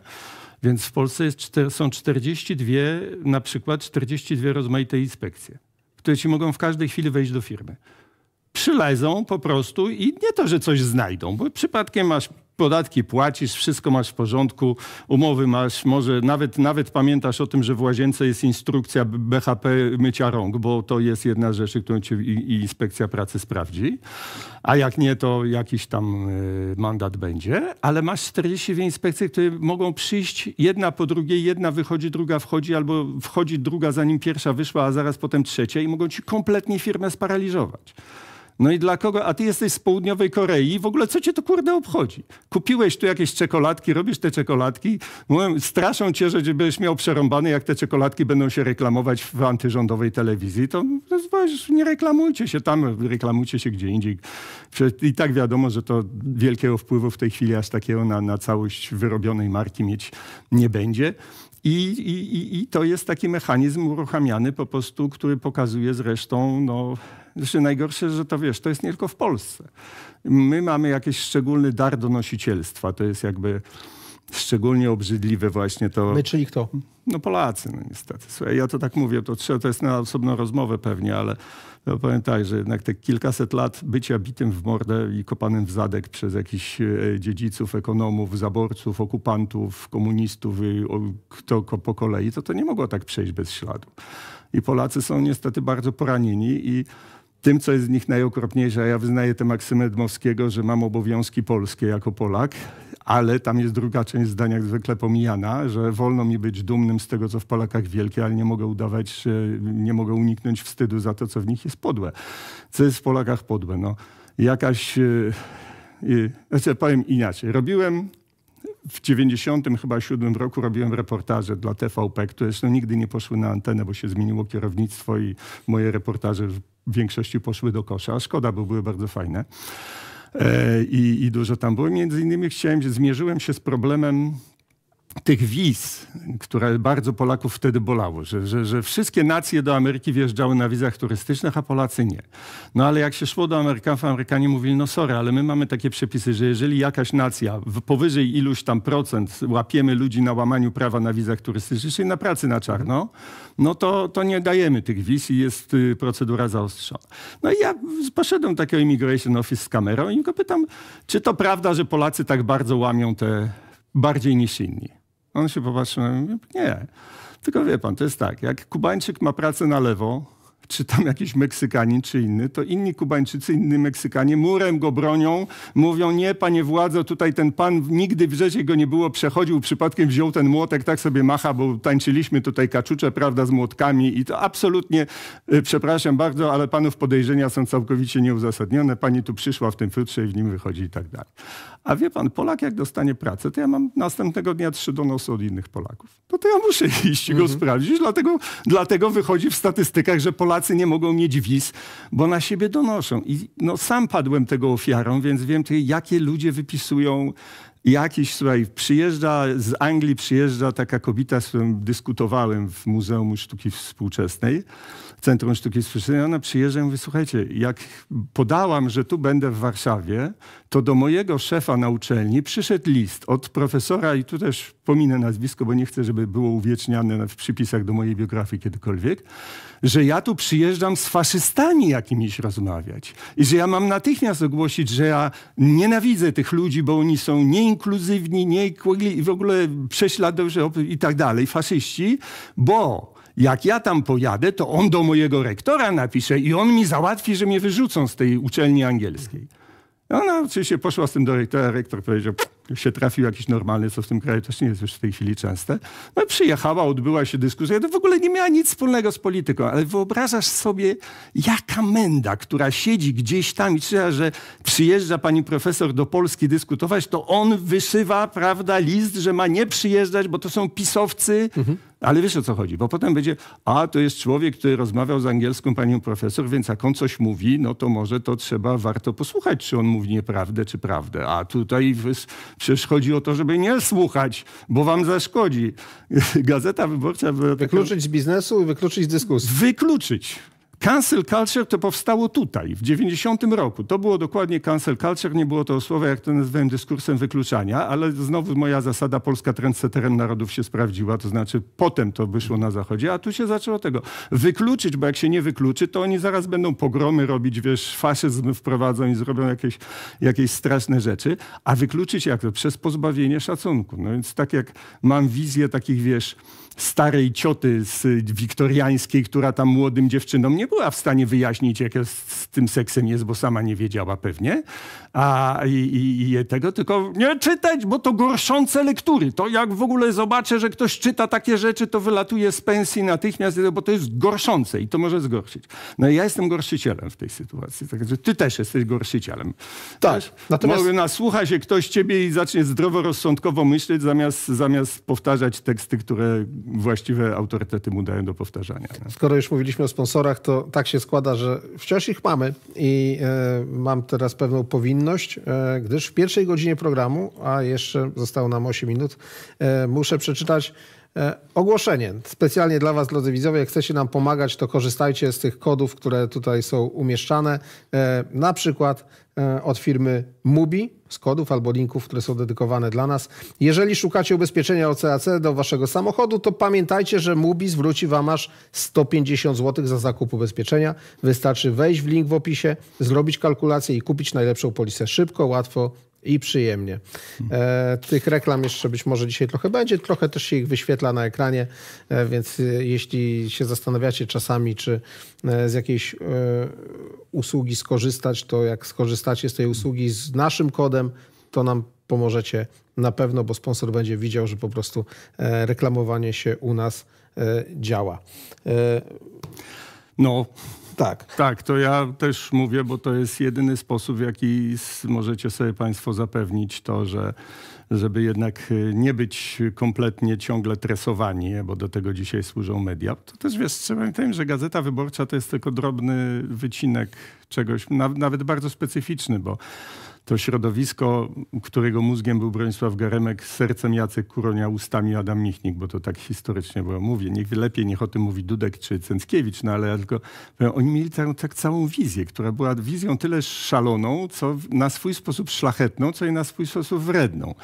E, łatwo to zrekonstruować z publicystyki właśnie rzeczonego, że i, i oni uważali, że oni zbudują tu jakiś ustrój, który będzie, jak to Michnik mówił, lepszy i od tego dzikiego kapitalizmu, i od tego biurokratycznego sowieckiego Bo nie mówimy komunizmu. tylko o koncer koncernie medialnym. Mówimy o sile politycznej, e, przed którą naprawdę kłaniali się politycy, ministrowie. Pierwsza wizyta to nie musiała być wizyta międzynarodowa, tylko wizyta w gabinecie redaktora naczelnego Gazety Wyborczej. E, to tam trzeba było się najpierw pokłonić. No i trzeba było też, i z kolei wewnątrz też było, nie? Był taki facet, co tam napisał biografię Kapuścińskiego, Domosławski. To strasznie zresztą zabawna sprawa, bo on w dobrej wierze uważał, że jak ujawni, że Ryszard Kapuściński był agentem FSB, y, KGB, to chwali go w ten sposób, bo to jest jakiś lewicowiec taki, on uważa, że to jest właśnie powód do dumy, że on tam jechał jako z kagiebowskimi wytycznymi, jak ma wspierać rewolucję w Angolii, a tylko pod przykryciem dziennikarza. No ale okazało się, że to jednak y, y, jest odebrane inaczej. Został tam też zniszczony te książki, chyba nie można dostać w tej chwili, w każdym nie, nie można wznawiać, ale o co, jak mi potem mówili ludzie, którzy, no, odszczepieńcy, którzy odeszli od tego kościoła Michnikowskiego, to tam był pierwszy facet, który zrobił coś strasznego, czy wydał książkę, o, o czym nikt się dowiedział z gazety. Bo on powinien iść do swojego naczelnego, który łaskawie pozwala mu do siebie mówić Adam, prawda? To, to też takie manipulatorskie, rozmaite biegi, które Graczyk opisuje w swojej biografii. No, i, i przyjść, pokazać, Adam, napisałem książkę, zerknij. No i ja napisałby wspaniały, powiedziałby świetne, ale to, to, to, to lepiej ten, a o tym powinieneś więcej napisać. A tu facet po prostu go olał. No i oczywiście wyleciał z tej gazety, ale to gdzieś tam się zaczął wtedy, to się dopiero przesiliło i zaczął się koniec tej, tej, tej formacji. I ona stopniowo zeszła na pozycję no, nie największego, bo też było taki, nie, nie wiem czy państwo pamiętacie, taki clash, gdzie w którymś momencie po prostu hierarchia dziobania została zmieniona w brutalnie, to znaczy pojawił się TVN czyli inne medium, za którym stoi korporacja gigantyczna. Teraz jeszcze bardziej gigantyczna, bo to jest Discovery z Warner Brosem. No te, te, te potwory korporacyjne rosną cały czas kosztem, kosztem świata. No i oni zmienili hierarchię dziobania i po prostu, że już nie Gazeta Wyborcza jest najlepsza, tylko, tylko TVN jest najlepszy. A zrobili to za pomocą takiego filmu Trzech Kumpli, gdzie na moment się okazało, że w TVN-ie Wolno, że kapuś esbelski był kimś złym, że to SB zamordowała Pijasa, że Bronisław Pijasa, że Bronisław Wilczta jest w ogóle fajnym facetem, że Ela Stankiewicz, która potem została z kompletną oszołomką, to wtedy to ona ten film robiła za mną Ferenc. To, to tak, to to jest w ogóle ciekawe. Oni to zrobili wyłącznie po to, żeby pokazać, że esbecki kapuś Maleszka cały czas pracuje w Gazecie Wyborczej i że tej Gazecie Wyborczej on konsultuje test, teksty polityczne, prawda, i mówi młodziakom, co tu masz skreślić, co masz dopisać, jak piszesz o papieżu i tak dalej. No i to oczywiście złamało siłę Gazety Wyborczej. To ja to widziałem po, po ludziach z Wyborczej, jak najpierw przychodzili tak jeszcze w starym stylu, o, teraz to Leszka, w sensie Maleszkę, teraz to każdy go może zabić, to jest w ogóle skandal, to jest nienawiść, coś tego, a potem nagle dwa czy trzy dni później się artykuł ukazał w Wyborczej pełen pokory, że przepraszamy, że rzeczywiście to nie powinno mieć. No i hierarchia dziobania została odwrócona. I od tego momentu się zaczął zjazd wyborczej, a wzrost TVN-u, no bo to w tej chwili to chyba ten, ten koncern jest, że tak powiem, główny, głównym smokiem ten, w Polsce. Ten zjazd był bardzo widoczny w ostatnich dniach, e, gdy ja nagrałem swoją e, odpowiedź, bo kiedyś e, taki tekst na temat innego dziennikarza, czyli innego powstającego tworu medialnego byłby końcem tego tworu medialnego i być może końcem tego dziennikarza. Po prostu trudno byłoby się z tego wszystkiego wybronić, bo nikt by nie słuchał, nie dociekał. E, a już na pewno nie doszłoby do takiej sytuacji jak w ostatnich właśnie dniach, gdzie dziennikarze innych mediów sami palcem wskazywali, że rany, ten tekst jest fatalny, nie powinien się nigdy ukazać, nie powinno się takich treści wrzucać. E, okazuje się, że nawet ci dziennikarze, którzy siłą rzeczy są koniunkturalistami i się zastanawiają, gdzie mogą w przyszłości pracować i niekoniecznie chcą sobie palić mosty, a już na pewno nie chcą mieć problemów w środowisku, nagle i oni spojrzeli na tą wyborczą jak na tego trupa, niekoniecznie na zombie, tylko na trupa, którym nie trzeba się w ogóle przejmować. Można machnąć na niego ręką, bo jedyne na co mogliby tam liczyć to nie zatrudnienie, tylko zwolnienia grupowe. No, tylko pytanie, wiesz, czy to smog zdechł, ale jak w moim ulubionym, w mojej ulubionej bajce scenicznej Jewgenija Szwarca Smog, że smog zdechł, ale jednak rządzi cały czas, tylko z innych i, i, wcielił się, prawda, w inne, w inne stwory i te mechanizmy się zmieniły, te mechanizmy działają. Znaczy, w tej starej wyborczej różnica była taka, że tam ludzie on, byli wytresowani w takiej schizofrenii, że potrafili, jak u Orwella, tak i nie za jednym zamachem się podpisywać. Taki przykład, który mi się przypomniał, to była sprawa Güntera Grasa, który okazało się, że był w SS. No tam nie był nikim ważnym, jakimś tam wielkim, on był tam jakimś szturmführerem, czy jakimś, czyli kapralem, czy gdzieś tam, ale był. No i zaczęło się takie mm, jazda i teraz było pytanie, czy Gazeta Wyborcza z tymi, czy z tymi bardziej jest lewicowa, czy bardziej jest y, y, prograsowska. No jednak, jednak y, okazało się, że Grasa broniła nie tych, którzy, bo środowiska żydowskie wychały, że w ogóle natychmiast ten człowiek powinien coś, zabrać mu tego Nobla, zgnoić go, zniszczyć, no jak to SS-man. No ale pojawiła się u nas taki drobny odpływ z tej sprawy, że może mu odebrać obywatelstwo honorowe Gdańska. I Wałęsa wywalił list, że to jest hańba, że SS-man tego. A Michnik wywalił mu wstępniak następnego dnia. Lechu, ty wiesz i my wszyscy wiemy, że ty też nie byłeś nieskazitelny w swoim życiorysie, więc odstosunkuj się od Gintera Grasa. Może nie tymi słowami, ale Wałęsa Maulhalten. Ale co jest najlepsze? Nikt nigdy nie zapytał Adamie, jak to? Jakie, jakie Wałęsa miał skazy w charakterze? Przecież wszyscy wiemy, że ludzie, którzy mówią, że Wałęsa był bolkiem, to są źli ludzie, podli. I tego, Czyli tak, jak, jak Wałęsa podskoczył, to go tym bolkiem w łeb i od razu się zrobił grzeczny i ruki paszwam. Natomiast jak ktoś przypominał, że przecież Wałęsa to bolek, co jest ponad wszelką wątpliwość wiadome, no to w tym momencie na niego wjeżdżali, że jest oszołomem, że jak śmie, prawda, zniesławiać to najsławniejszego Polaka, który w ogóle to ma swoje miejsce w historii. Za głupi argument ma swoje miejsce w historii. Nikt go nie usunie z historii. No tak, Judasz ma swoje miejsce w Ewangelii. Nie można go stamtąd usunąć. No i co? Co to, co to jest za argument? No ale chodzi mi tylko o ten właśnie o to, co Orwell nazwał dwójmyśleniem, że on tak pięknie wytresował tych swoich czytelników, że oni wszystko po prostu wiedzieli. To samo, co zrobi jeden jest oburzające, a to samo, co zrobi drugi jest hańba po prostu i absolutnie dyskredytujące dla tej osoby osoby. Mhm. E, o swoich problemach e, z wjazdem do Anglii. To też jest przedziwna historia, bo jesteś chyba na bardzo krótkiej liście osób, które nie mają prawa podróżować po świecie ze względu na poglądy. Znaczy, po świecie mogę podróżować. Nie po całym. No nie po całym. No, dla mnie to było... Czy wiesz, olałbym to oczywiście, bo byłem wielokrotnie w Anglii, kiedy to był kraj dużo bogatszy, ładniejszy, czystszy i w ogóle No dobrze, no skoro tam, tam poleciałeś i nie wpuścili, znaczy chciałeś Poleciałem, no, tak. Chciałem tam lecieć, bo chciałem odwieźć córkę na studia. I to jest jedyny powód, dla którego mnie ta sprawa... Nie, jeszcze był drugi, to drugi pomniejszy. Dlaczego mnie to zabolało? Bo to dla córki był, no... To miał być wymarzony piękny dzień, wiesz. Ona się dostała na Oxford, na najlepszą uczelnię na świecie w tej dziedzinie, gdzie chce. Dostała się bez żadnych poparć, oczywiście, bo tam zresztą żadne poparcia nie działają. No po prostu zrobiła dziewczyna coś wspaniałego i pojechaliśmy całą rodziną, żeby się razem z nią ucieszyć. A tryb tego zatrzymania był dość podły, który sprawił, że moje, moje córki z żoną bez pieniędzy zostały, musiały tam dwie, trzy godziny stać w tej strefie przejściowej na lotnisku. Na szczęście przyjaciele byli w Londynie, którzy się nimi zajęli, bo to E, Angole tam ługali przez 4 czy 5 godzin, że oni nic do mnie nie mają, że mają tu problem jakiś z komputerem technicznym, prosimy o cierpliwość, za 10-15 minut się to skończy. Dopiero po tych paru godzinach przyszła policja i mnie aresztowała i wsadziła do pierdla i, prawda, i tak dalej. Potem przyszedł jakiś facet i powiedział, że ja tu i tak nie wjadę i e, on ma dobrą radę, żebym sam uciekał, bo moje poglądy polityczne są nieakceptowalne. Ja mówię, co ty wiesz o moich poglądach politycznych? On mówi, to nie ma znaczenia, nie będę z tobą dyskutował, to jest decyzja moich przełożonych.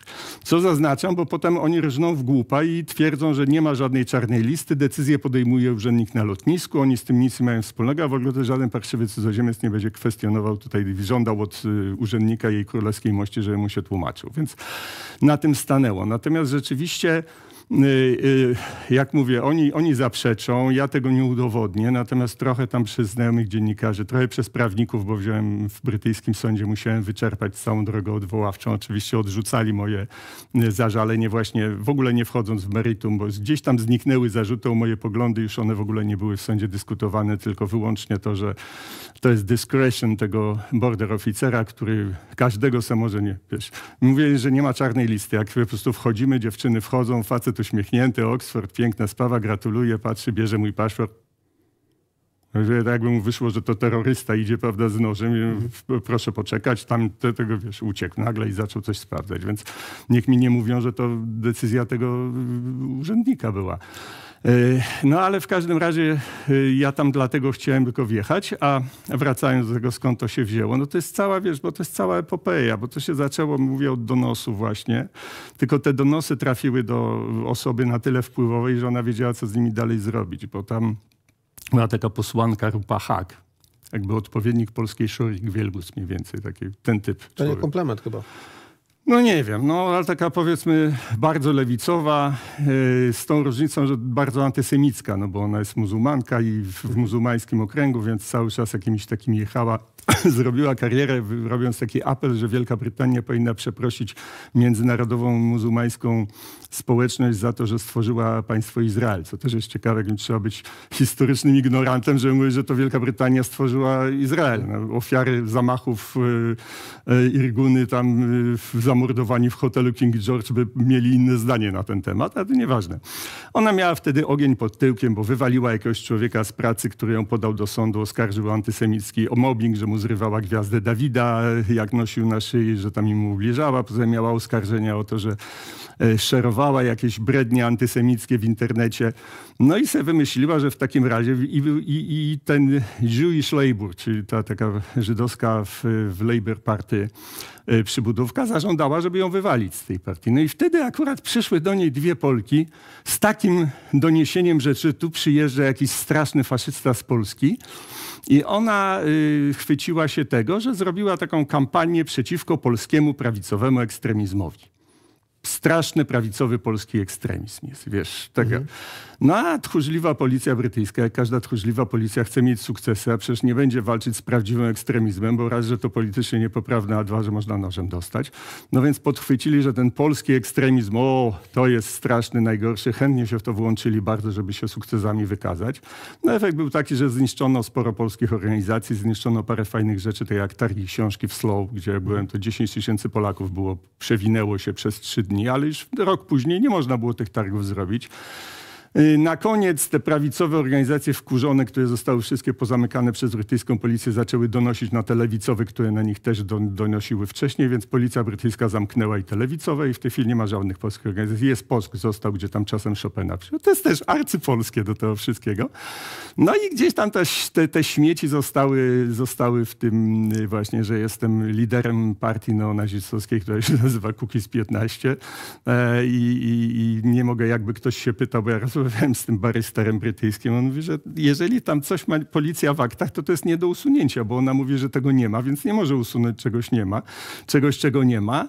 No i jedyną drogą jest się uderzyć w piersi, ukorzyć, tak byłem liderem anty, ale już mi przeszło, już mnie możecie wpuścić, to oni tam nawet sugerowali, żebym tylko to zrobił, to już mnie wpuszczą, żeby już tylko, żebym nie hałasował. No ale to wiesz, no trzeba mieć jakoś tam minimum godności swojej. Mhm. Oczywiście to jest tam na Twitterze tego trole, wszyscy się cały czas, to jest e, poza researchem Ziemkiewiczorskim to jest drugie, co się potrafią e, brechtać. No, wtedy ukazał ten, się że... tekst e, na łamach e, wyborczej Elizy Michalik, mojej ulubionej, która napisała Ziemkiewicz ukarany za poglądy, pogarda i obelgi to nie poglądy. Obelgi, bluzgi, wyśmiewanie i pogarda to nie żaden pogląd, tylko brak kultury, zarówno osobistej, jak i języka. I cieszę się, że są kraje, w których się to rozumie i tego nie toleruje. E, pisze tak Eliza Michalik, przypomnijmy, e, kobieta, która w dawnych czasach straszliwie homofobiczne teksty pisała, e, aż e, Aż ją no, nie godzi się tego, e, Nie. żeby cytować, bo to Nie były wiem. straszne treści. Nie, prostu. ja, ją pamiętam z czasów, jak pracowała w Gazecie Polskiej, jak z Tomkiem Sakiewiczem... e, W gościu niedzielnym. W gościu, jak z Tomkiem Sakiewiczem pisała książkę, chciałem powiedzieć, wspólnie, e, bo o tym myślałem i, i, i w ogóle no, co się z dziewczyną porobiło, to rzeczywiście z publicystki gościa niedzielnego wściekle atakującej e, wszystkich tam homo i, i lesbijki i feministki i tak dalej. No się. ale... Znaczy nawrócono ją trochę, bo to było tak, że jej jakiś plagiat wyciągnięto i ona właściwie po tej stronie sceny politycznej to już nie miała nic do zagrania, ale szczęśliwie jakoś odnalazła się po tamtej stronie. Także fajnie, no, życie po życiu jakoś, jakoś e, z, zarządziła dziewczyna swoim, swoim życiorysem, ale przykre takie. Oczywiście wiele osób się tam wtedy jakiś właśnie z Wyborczej, Lis oczywiście, oni się tam strasznie ucieszyli, do taka... taka e, Lisa wiesz, wyprowadzono z kolei ze stadionu w Anglii, z tego co No ale taka, wiesz... No, samej Anglii wjechał, ale już na miejscu były kłopoty. to jest taka, taka, taka drobna radość, wiesz, y, człowieka y, impotenta, który słyszy, że kogoś zgwałcono i i myśli, że jak się wyrazi radość, to sobie on wtedy też, no mali, mali ludzie co się oczywiście cieszą z takich rzeczy. Skoro rozmawiamy o nazwiskach e, i Michnika jednak traktujemy jako osobę, która co najwyżej jest dzisiaj obserwatorem e, tej sceny medialnej. Czasami może za jakiś sznurek pociągnąć, ale ten sznurek może się zerwać e, i ten wpływ może być znikomy. E, kto dzisiaj, mówię o osobach, nie o firmach, kto dzisiaj rządzi polskimi mediami? Myślę, że w największym stopniu rządzi prezes Zaslaw. To, że to jest dla mnie niejasne są struktury, no bo jak wiesz, TVN jest firmą zarejestrowaną, to znaczy Polska. TVN jest y, formalnie należy do polskiego oddziału. To wiat, wszyscy wiedzą, że to jest Discovery Warner, ale to jest y, jako polski, ten jest zarejestrowany na skrzynkę pocztową gdzieś w Amsterdamie na jakimś lotnisku. Z tym, że to jest inna sytuacja, bo to jest korporacja. Ona jest bardzo paskudna. Jeden z lepszych dowcipów, jaki słyszę, to czasem jak mi już jakoś tak smutno mi na sercu i chcę się rozweselić, to włączam na tę chwilę Monikę Olejnik, która mówi dzień dobry, TVN, wolne media. Coś, co należy do korporacji może być wolne, no to już sorry, ale to jest... No ona może czuć się tam wolna, być może nikt nigdy nie powiedział jej, co ma mówić i ona tą wolność odczuwa i No, czuwa, ale wiesz, jak wyraża. w korporacjach. Przychodzą dzisiaj masz 10 minut na spakowanie się w karton. Proszę oddać wejściówkę, telefon komórkowy. Mail nie działa, czasem w ogóle nie wchodzisz, tak jak kiedyś tam było, że, że, że po prostu ludzie rano stwierdzili ileś tysięcy, że to akurat mówię o innym koncernie, nie, o- nie o Discovery, że po prostu maile nie działają, wejściówki nie działają, już tu nie pracujesz i e, korporacja. Jest taki Kamil Rożalski, który walczy z tym TVN-em i to jest rzeczywiście, tam ujawniają rzeczy okropne, jak oni ludzi traktowali, jakie to, były, jakie to było nadużywanie władzy, bo to też specyfika... Ale nie, nie, nie wchodźmy e, Nie, w to, dobrze, bo no każda to- firma ma ale pracowników, polecam. z którymi się e, kłóci w To, ten czy tak inny też sposób. prawda. E, Ale- Myślę, że Republika też takich ma. Natomiast Ale w- były tam już wyroki sądowe w- pokazujące, że rzeczywiście działy się rzeczy. No, ale, Ale to kogo nawet dzisiaj nie możemy uznać za nowego Michnika lub kogoś e, prawie tak potężnego, jak Nie potężny ma. był Michnik? Nie, ma. Michnik jest rozproszony w tej. Znaczy w ogóle Michnik był pewną swoistą sytuacją lat 90., która, jak mówię, wynikała z tej specyfiki tej warstwy społecznej, e, która potrzebowała takiej operacji, żeby im powiedziano, że przejścia do PRL-u jako elity, że oni są elitą. Bo co Michnik zrobił? Wziął taką pozłotkę, tę małą garstkę ludzi, którzy byli z, y, jakoś rzeczywiście mniej lub bardziej bohaterami, i tą pozłotką tę całą postkomunistyczną inteligencję pracującą złocił i mianował, wy jesteście teraz elitą demokratyczną, demokracji tego. To, to, to, to, było jednorazowym numerem. Teraz, jest, teraz mamy inny układ społeczny, mamy problem z tyką, ja- jak ja to nazywam, nowobogatcy na kredyt, tak? czyli taka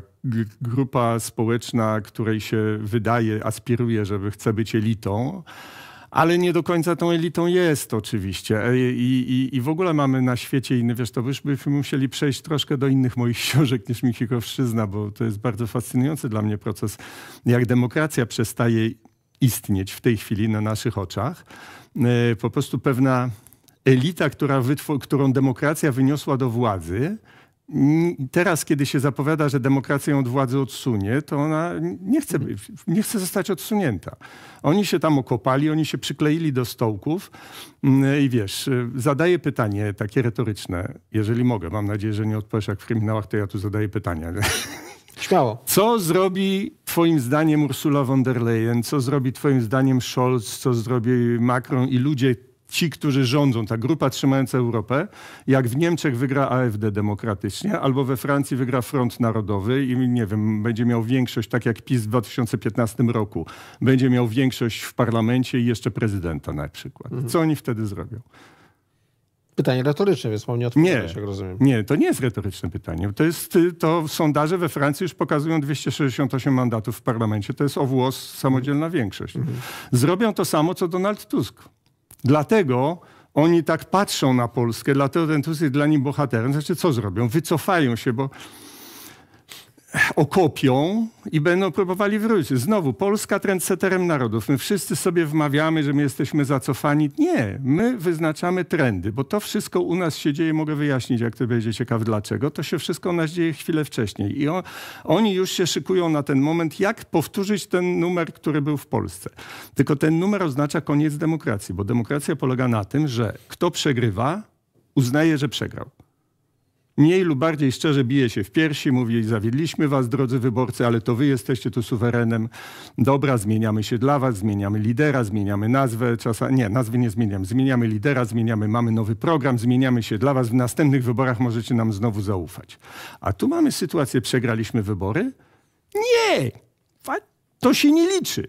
My jesteśmy elitą tego kraju. My musimy rządzić, bo jak nie my, to tamci, to wygrali, to są populiści. I to jest faszyzm.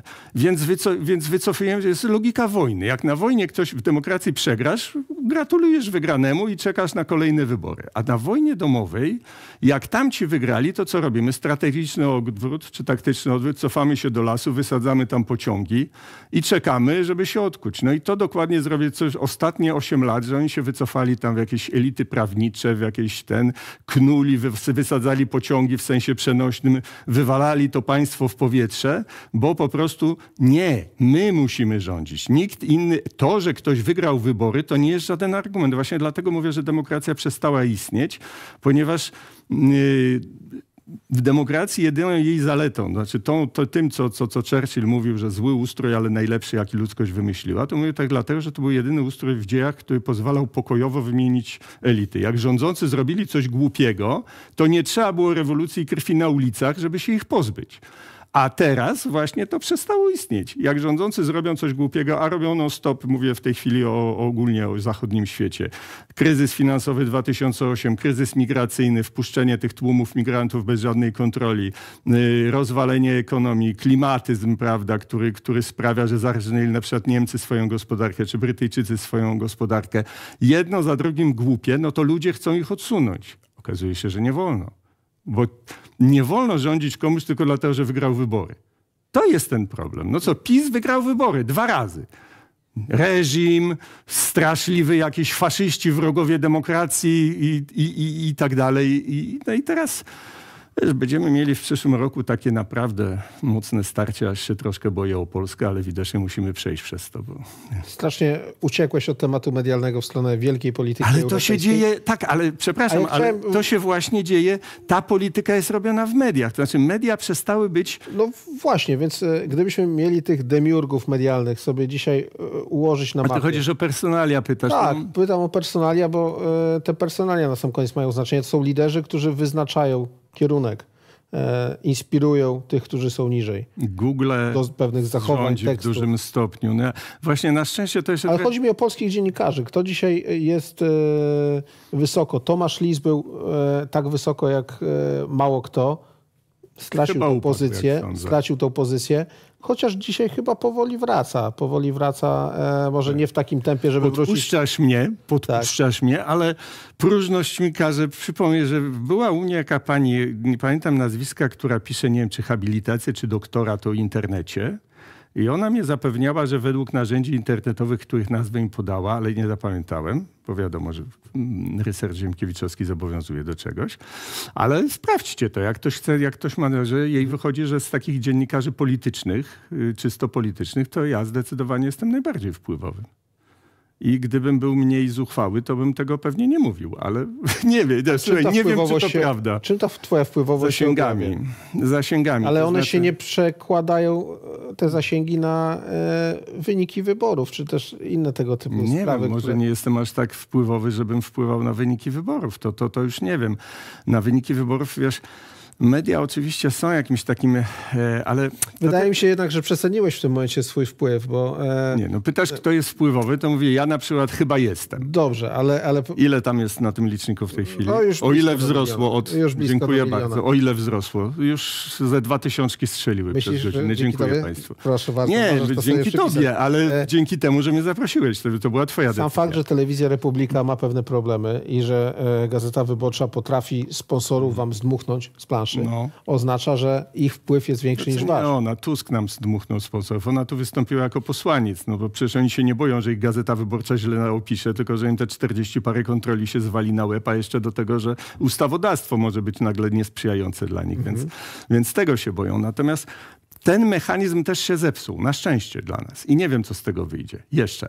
Yy, bo że tak, że media, legenda jest, że media, czwarta władza, mm, masowa komunikacja, a to są, one się stały narzędziem masowej, masowej perswazji, czy nawet wręcz masowej tresury. Ale zobacz, ostatnio wpadłem na takie badanie i to jest...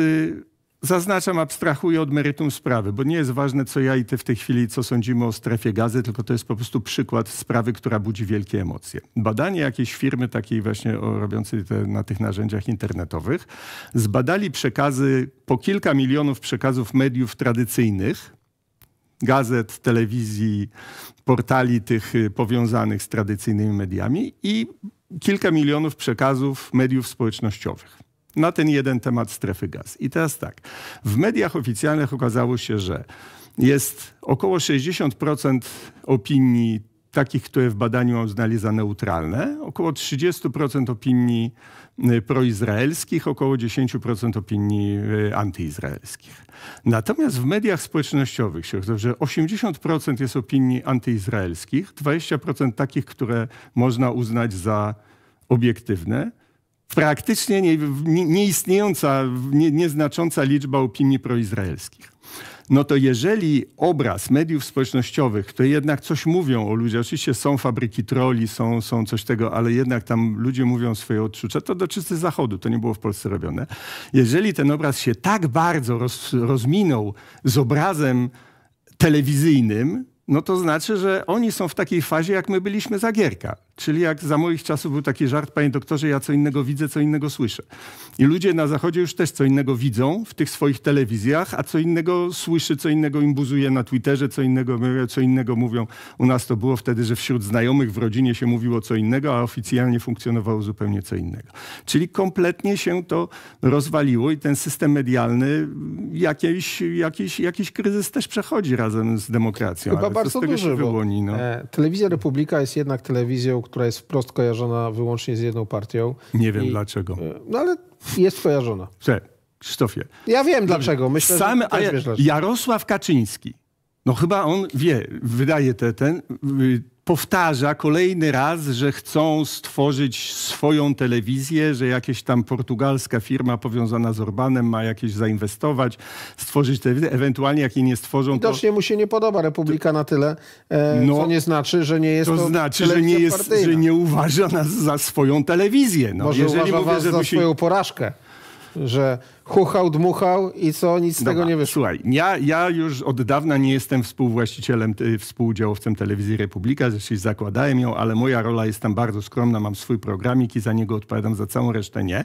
Ale wydaje mi się, że jeżeli sam komendant mówi, że te miliony, co mają Portugalczycy przywieźć, to trzeba założyć, a ewentualnie tam była opcja, że doinwestować braci Karnowskich, no to jednak odbieram to jako pewne świadectwo moralności, które od niego dostajemy, że nie jesteśmy telewizją partyjną. I, i, no ale... Mm, Trudno was uznać za, tele, za telewizję obiektywną. Mm, Bo do, Co to znaczy obiektywną? taką, która będzie równo razy rozdzielała jednym i drugim. Bo widzisz, bo też tu się dwie rzeczy zderzają, bo ja rozumiem e, obiektywizm e, jako to, że deklarujemy jasno swoje wartości. Ja jako pisarz mówię, ja służę tak naprawdę to mam jedną ideę, czyli chłopski zdrowy rozum. Ale na pewno jestem konserwatystą, jestem katolikiem, jestem człowiekiem w takim patriotycznym sznycie wychowanym, tradycyjnym i, i tradycjonalistą i konserwatystą i to z tych, wszystko co piszę, wszystko co mówię, mówię z tego punktu widzenia. I oczywiście, że nie będę rozdzielał razów równo, w tym sensie, że nie będę y, y, chwalił e, liberalnych czy libertariańskich pomysłów, tylko będę je zwalczał. A co innego to jest partyjność i apartyjność. No jakieś, ja uważam, że absolutnie e, taki sam hejt jak z researchem ziemkiewiczowskim, czy faszyzmem w Anglii, czy, czy, inne, to jest e, twierdzenie, że ja jestem jakimś Lizusem Kaczyńskiego.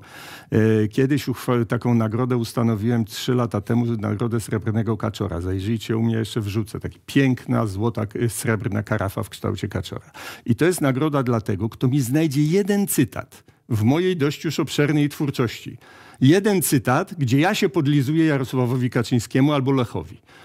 Nie to, że bo czasami się zdarzało, że jakieś ich konkretne podsunięcia pochwaliłem, ale no, jak dotąd się nikt nie zgłosił po tę nagrodę. A jest taka piękna karafa do wzięcia, naprawdę. Wciąż będę.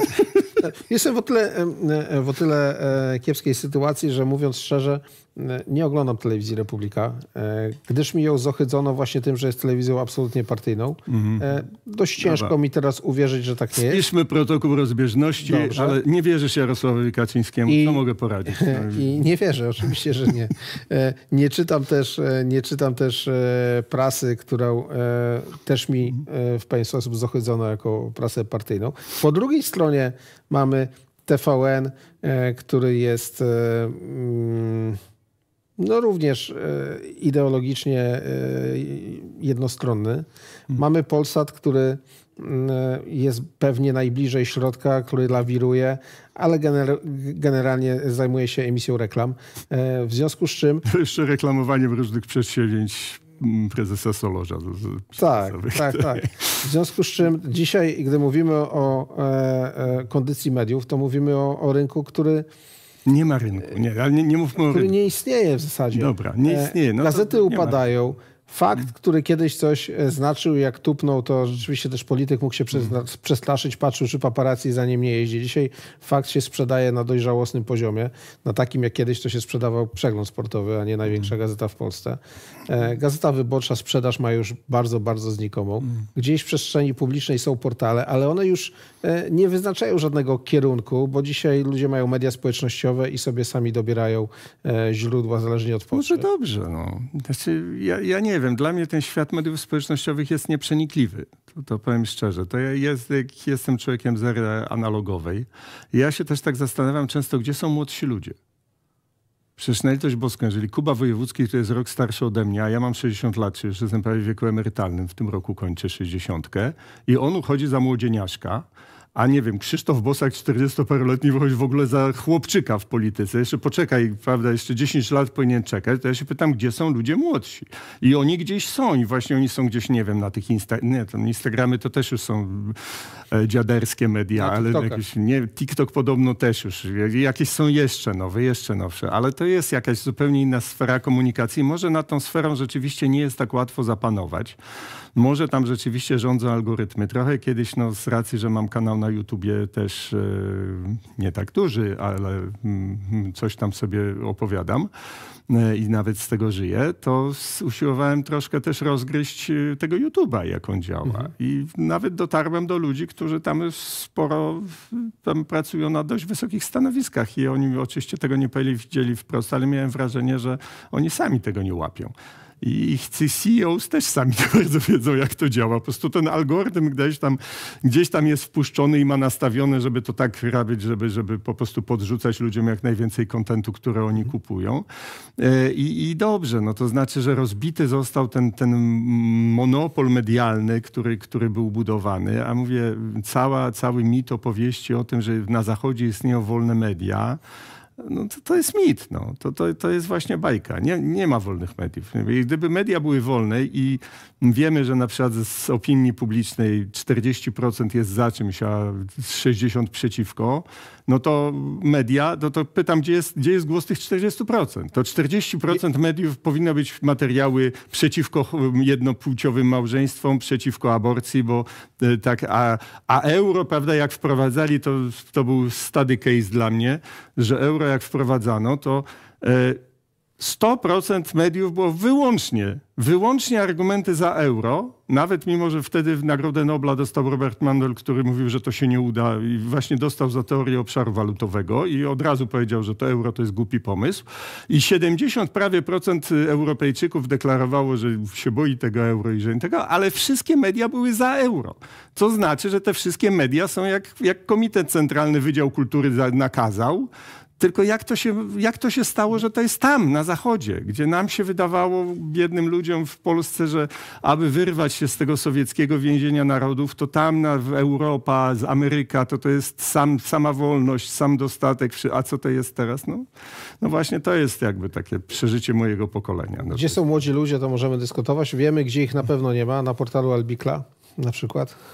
Było trochę e, kuriozalnych inicjatyw wychodzących e, Mogę chyba tak powiedzieć z waszego środowiska. No, tak, no ale wiesz, no, no, nie, nie będę bronił tego pomysłu. No. Był trochę, trochę, ale to nie był mój pomysł. ale ja sobie wyznaczyłem inną rolę w życiu. Mhm. Wiesz, to też jest tak. Ja, ja, ja postanowiłem, że e, mówię to, co mówię i mówię do ludzi wyraźnie. Nie wierzcie mi. Nie bierzcie tego, że ja jestem taki wielki, ważny facet i ja wam to mówię, to wy wierzycie, bo mi ufacie. Nienawidzę tego działania z autorytetu, tego argumentu z autorytetu, który zresztą prowadził, że właśnie to wlazłeś im w działkę kreowania autorytetów, to cię zniszczą, bo albo jesteś autorytet, żeby być autorytetem trzeba być ich, albo, albo trzeba być zniszczonym. A ja sobie postanowiłem, że nie dlatego, może i stałem się dla wielu ludzi autorytetem, dziękuję, ale ja zawsze mówię, nie wierzcie w to, co ja mówię, tylko sprawdzajcie. A w ogóle Mówię to, co mówię, bo co uważam, to fajnie, jak się ze mną zgadzacie, ale najważniejsze jest, pomyślmy nad tym, pomyślcie nad tym. Zobaczcie, co piszę o wielkich korporacjach, piszę o, o szwindlach tych wielkich korporacji, piszę o, o tym systemie politycznym, który się przekształca, trochę też, też o takich wiek, bo już trochę wchodzę w taki wiek, że człowiek bardziej już się ważnymi sprawami chce zajmować, niż jakimiś tam bieżączkami ciągłymi, co kto powiedział, że powiedział, że tamten źle powiedział, a ten powiedział, co on powiedział, że on jest złamany, a ten powiedział, że on nie jest większość polskich mediów to są ten tam ostro, tamtym, a ten mu się zaraz odwinął, a ten, więc nie chcę się w to bawić, są naprawdę duże, duże sprawy do mówienia, ale te, te, te, nawiążmy jakby taki, taką, spróbujmy ocalić taką kulturę, że sięgamy po różne źródła. No i myślę, że ten na siebie też ściągam właśnie to, że, że, że w jedyny sposób nikt ze mną nie będzie rozmawiał z tamtej strony, tylko, tylko będzie straszył, nie zajmuj, z tym facetem się nie zadawajcie, bo ten facet to jest straszne zgorszenie, sieje i on czy, was zgorszy. No.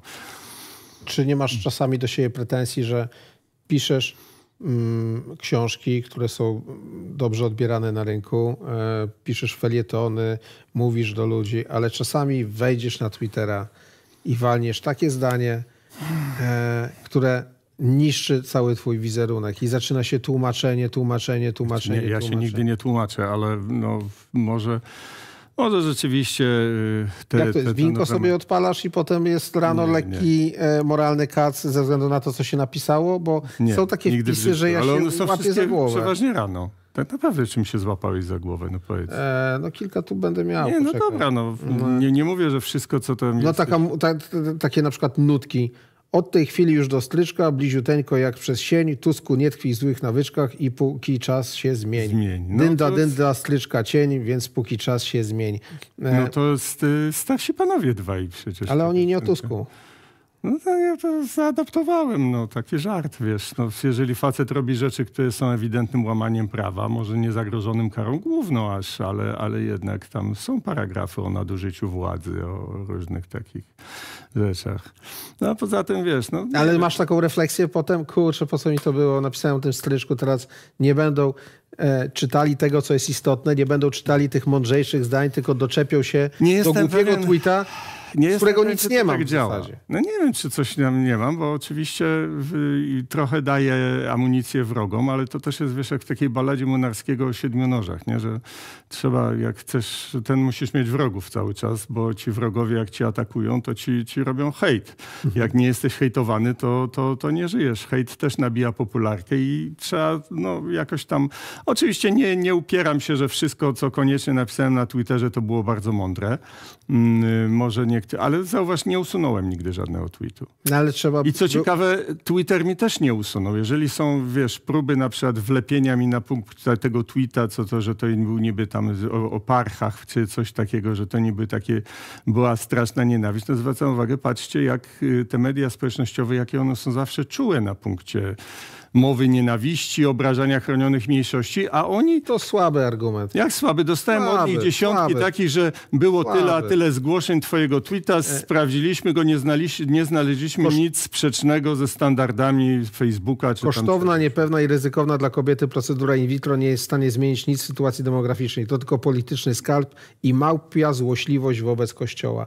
A co ty, ty, ty, ty przepraszam, no to, to i dlaczego podejrzewasz, że, że to jest tweet, po którym mam mieć kaca? No przecież oczywiście, Wiesz że co, cała zna- polityka... Znam dzieci, które się urodziły e, z in vitro. No dobrze, ale ja I- mówię, że to nie jest rozwiązanie problemu Tak, demograficznego. Ale nazywanie tego rozwiązania małpią złośliwością wobec Nie, Kościoła... nie. Małpią złośliwością nazywam propagowanie tego, robienie z tego hasła politycznego. Tak samo jak z aborcji, gdzie przecież też nie chodzi o aborcję To jest wcale. po prostu tylko- usługa, którą lu- ludzie, część ludzi chciałaby mieć refundowaną. No dobrze, ale jest pytanie, czy na przykład może I zamiast... wprowadzenie zbyt ostrego języka do tak wrażliwych tematów No, może. obniża jakość dyskusji. Może słuchaj, kiedyś mm, Monika Jaruzelska mi powiedziała, że właściwie to mojej żonie powiedziała, e, ale ja byłem przy tym, że w czasach studiów, czy nawet w szkole, że się zwróciła uwagę, czym jej zaimponowałem, że nigdy nie widziała człowieka, który byłby tak zaimpregnowany na to, co o nim myślą.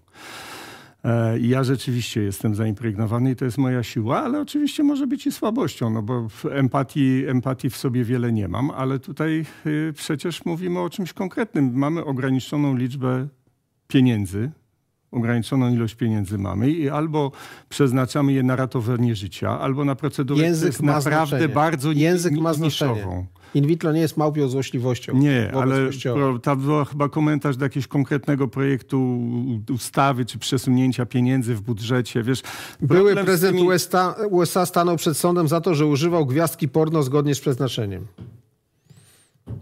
A myślisz, że niezgodnie z przeznaczeniem jej My, myślę, że aktorka porno jest od odgrywania roli seksualnej przed kamerą, a nie od tego, żeby być gwałcona.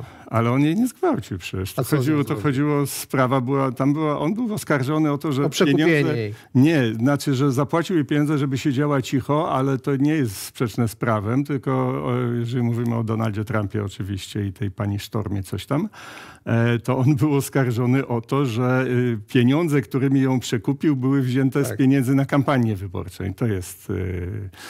I to jest ten. No słuchaj, no to, to, to, to taki jestem, no. Taki, to, to, to, to, taki mam... A już to było dla mnie najgorsze. O. Mm. Nic tak nie ożywia akcji jak trup. Chyba nie, to a propos. E, to Agata Christie bodajże. E, no nie w takim momencie. Dobrze, ale właśnie to jest pytanie, bo też się rzeczywiście fatalnie, już o tym mówiłem. E, fatalnie się skleiło, ponieważ to nie był komentarz do samej sprawy, tylko do tego Tuska, który natychmiast to podchwycił, tak samo jak Ale Adamowicz. czasami a- lepiej pomilczeć.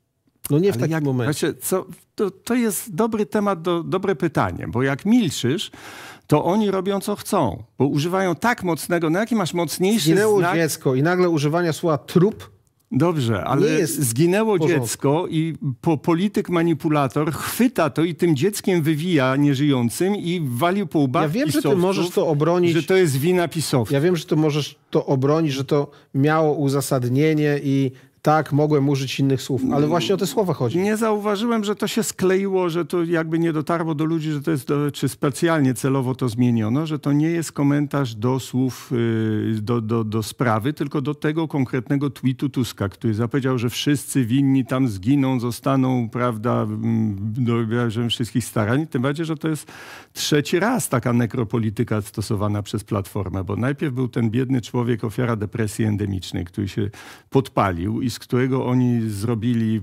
męczennika zamordowanego przez PiS, a to jest no, powiedziałbym, miałem tam coś wspólnego z y, ludźmi, którzy, którzy walczyli z takimi chorobami i, i krew mnie zalewa, jak się w depresję, prawda, mm, wykorzystuje i, i, i, tego typu śmierć się wykorzystuje. Potem był właśnie ten Adamowicz, którego też do dzisiaj chodzą i powtarzają, że PiS zamordował Adamowicza.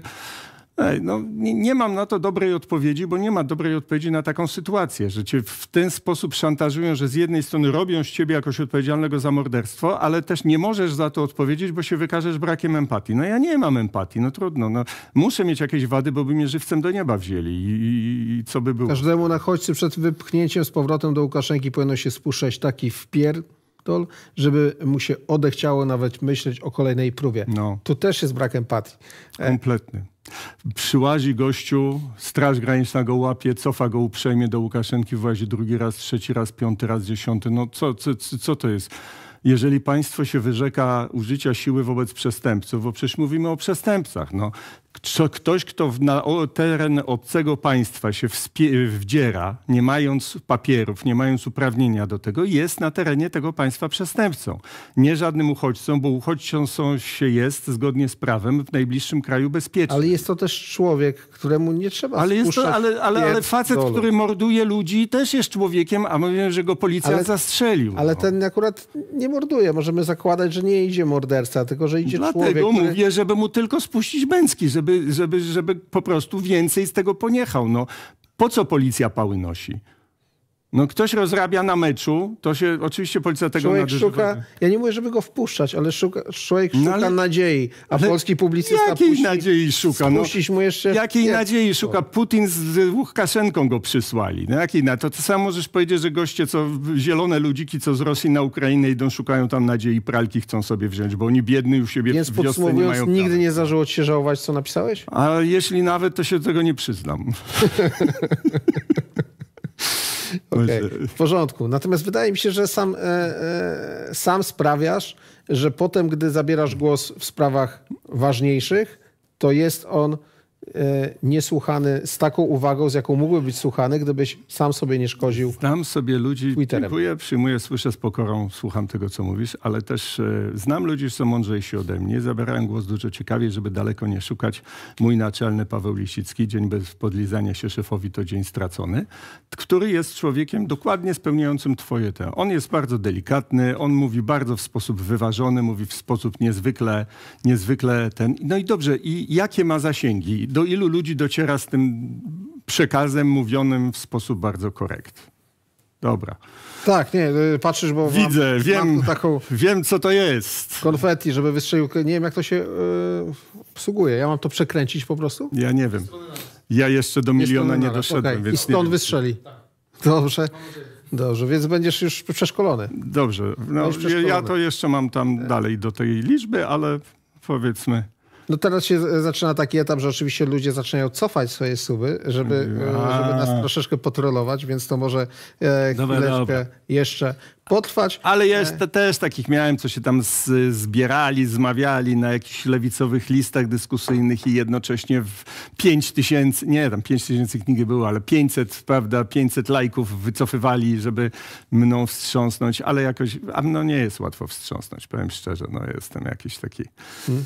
mało empatyczny człowiek, ale se też Ktoś powie, był, że nieszczęśliwy. To tak samo jak zaczynaliśmy z tym, nie, jestem bardzo szczęśliwym człowiekiem akurat, jeśli chodzi o No dobra, teraz muszę, muszę, muszę przerwać. Brakuje 14, brakuje 7, brakuje 6. Byłem trochę nieprzygotowany na to, że to się wydarzy dzisiaj. Liczyłem, że to będzie jakoś pod koniec przyszłego tygodnia, więc no, ale nie ma miałeś to pod ręką. Wielkiej imprezy. Nie, pojechaliśmy A. przed programem do Galerii Mokotów, bo dzisiaj jest pracująca Ja ci cofnę, niedziela. ja ci cofnę zaraz. Ty plec od tej myszy Łapa?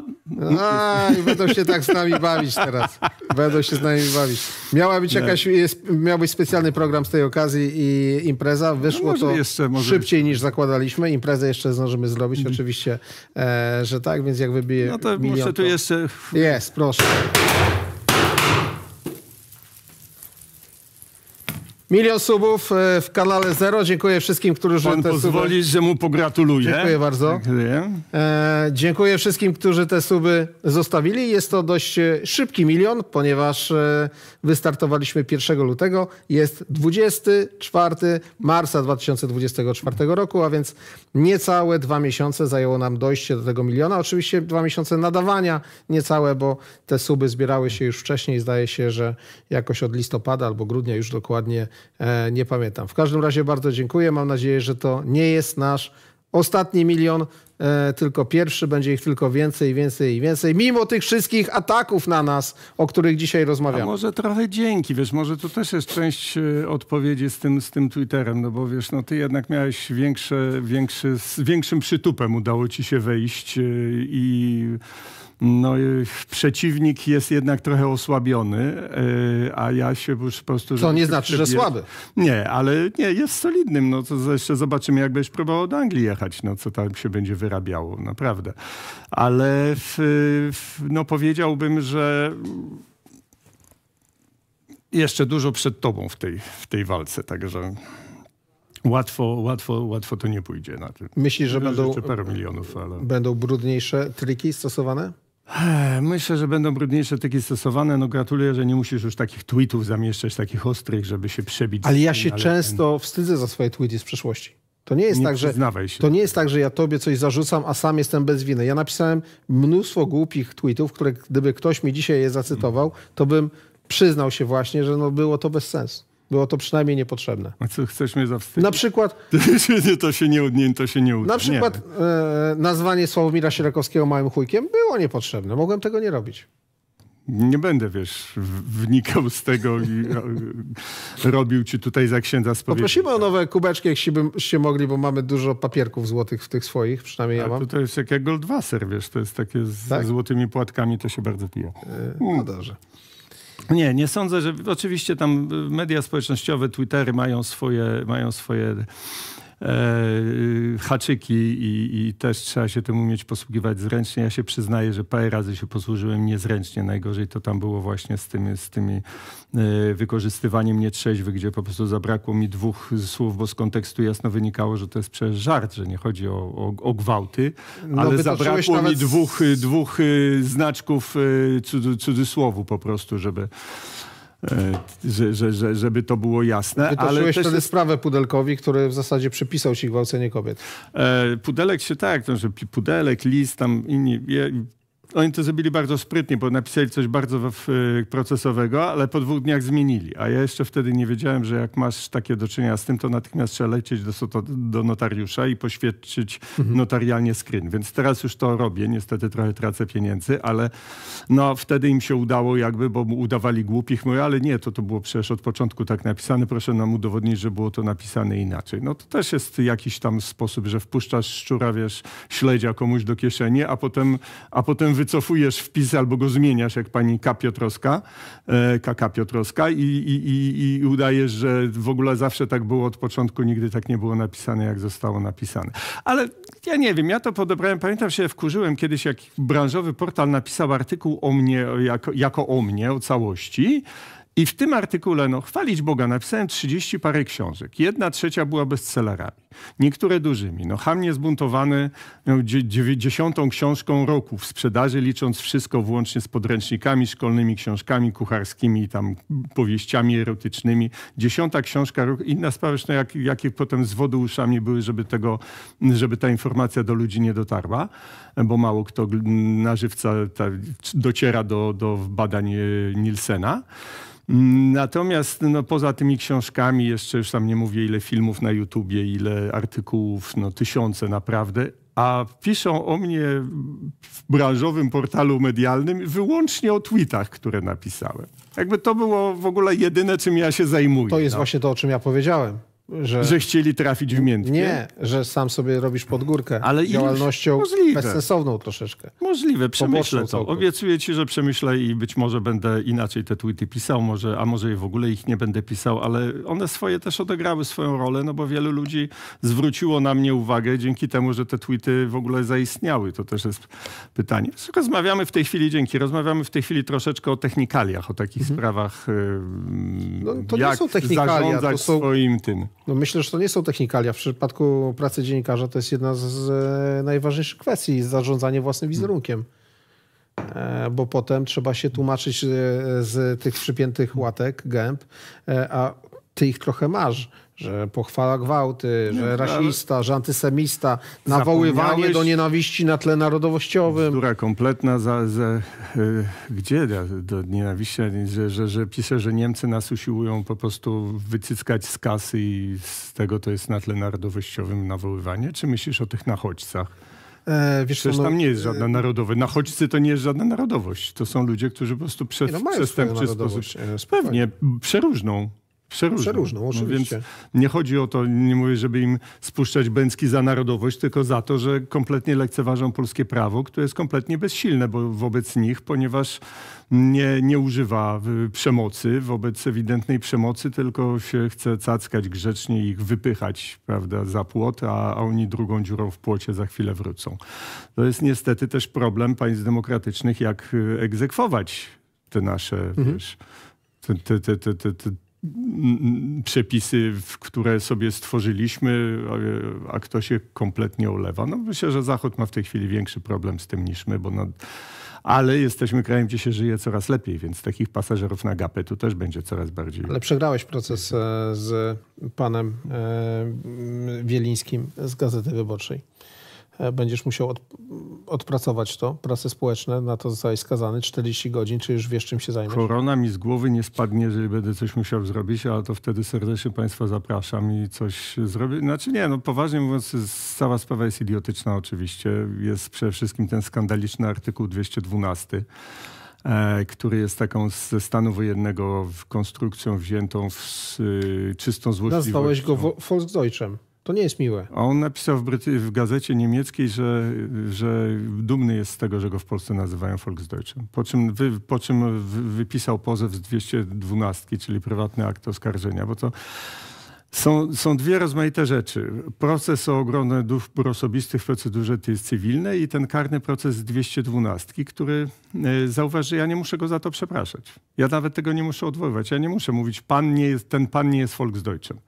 A już mówię, że człowiek, który sam pisze o pisowcach, że są bolszewikami, no to powinien się spodziewać, że ktoś może o nim napisać Volksdeutsch i to jest jakby równe. Sąd poszedł po idiotycznej interpre- interpretacji, znaczy powiedział, że mimo, że sam Wieliński pisał właśnie o ludziach jako o bolszewikach, że Volksdeutschem można nazwać kogoś, kto podpisał Volkslistę, ponieważ pan Wieliński w czasach okupacji jeszcze nie był na świecie, więc nie mógł podpisać, więc no, to dość ciekawe, e, dość ciekawe podejście, ale mm, ta 212, zobacz, ona nie chroni dóbr osobistych, ona nic nie robi, ona tylko mm, ma y, zaszkodzić komuś, kto coś powiedział. To jest przepis z czasów y, PRL-u, kiedy mm, jak nie wiedzieli, jak złapać ludzi, którzy piszą w prasie podziemnej, w sensie prawnym, to im przywalali właśnie z tego artykułu, który mówi, kto podważy zaufanie niezbędne osobie publicznej do pełnienia jej funkcji publicznej, polega karze do dwóch lat więzienia albo grzywny, albo tam ograniczenia wolności.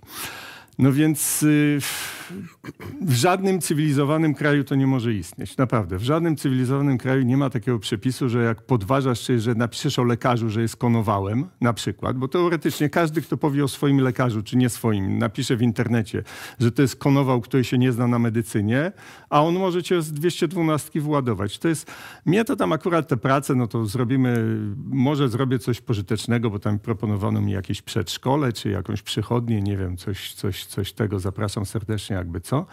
Natomiast y, na władzę nie poradzę, jak mówią w znanym filmie. Yy, Natomiast to jest masakra na szczeblu lokalnym.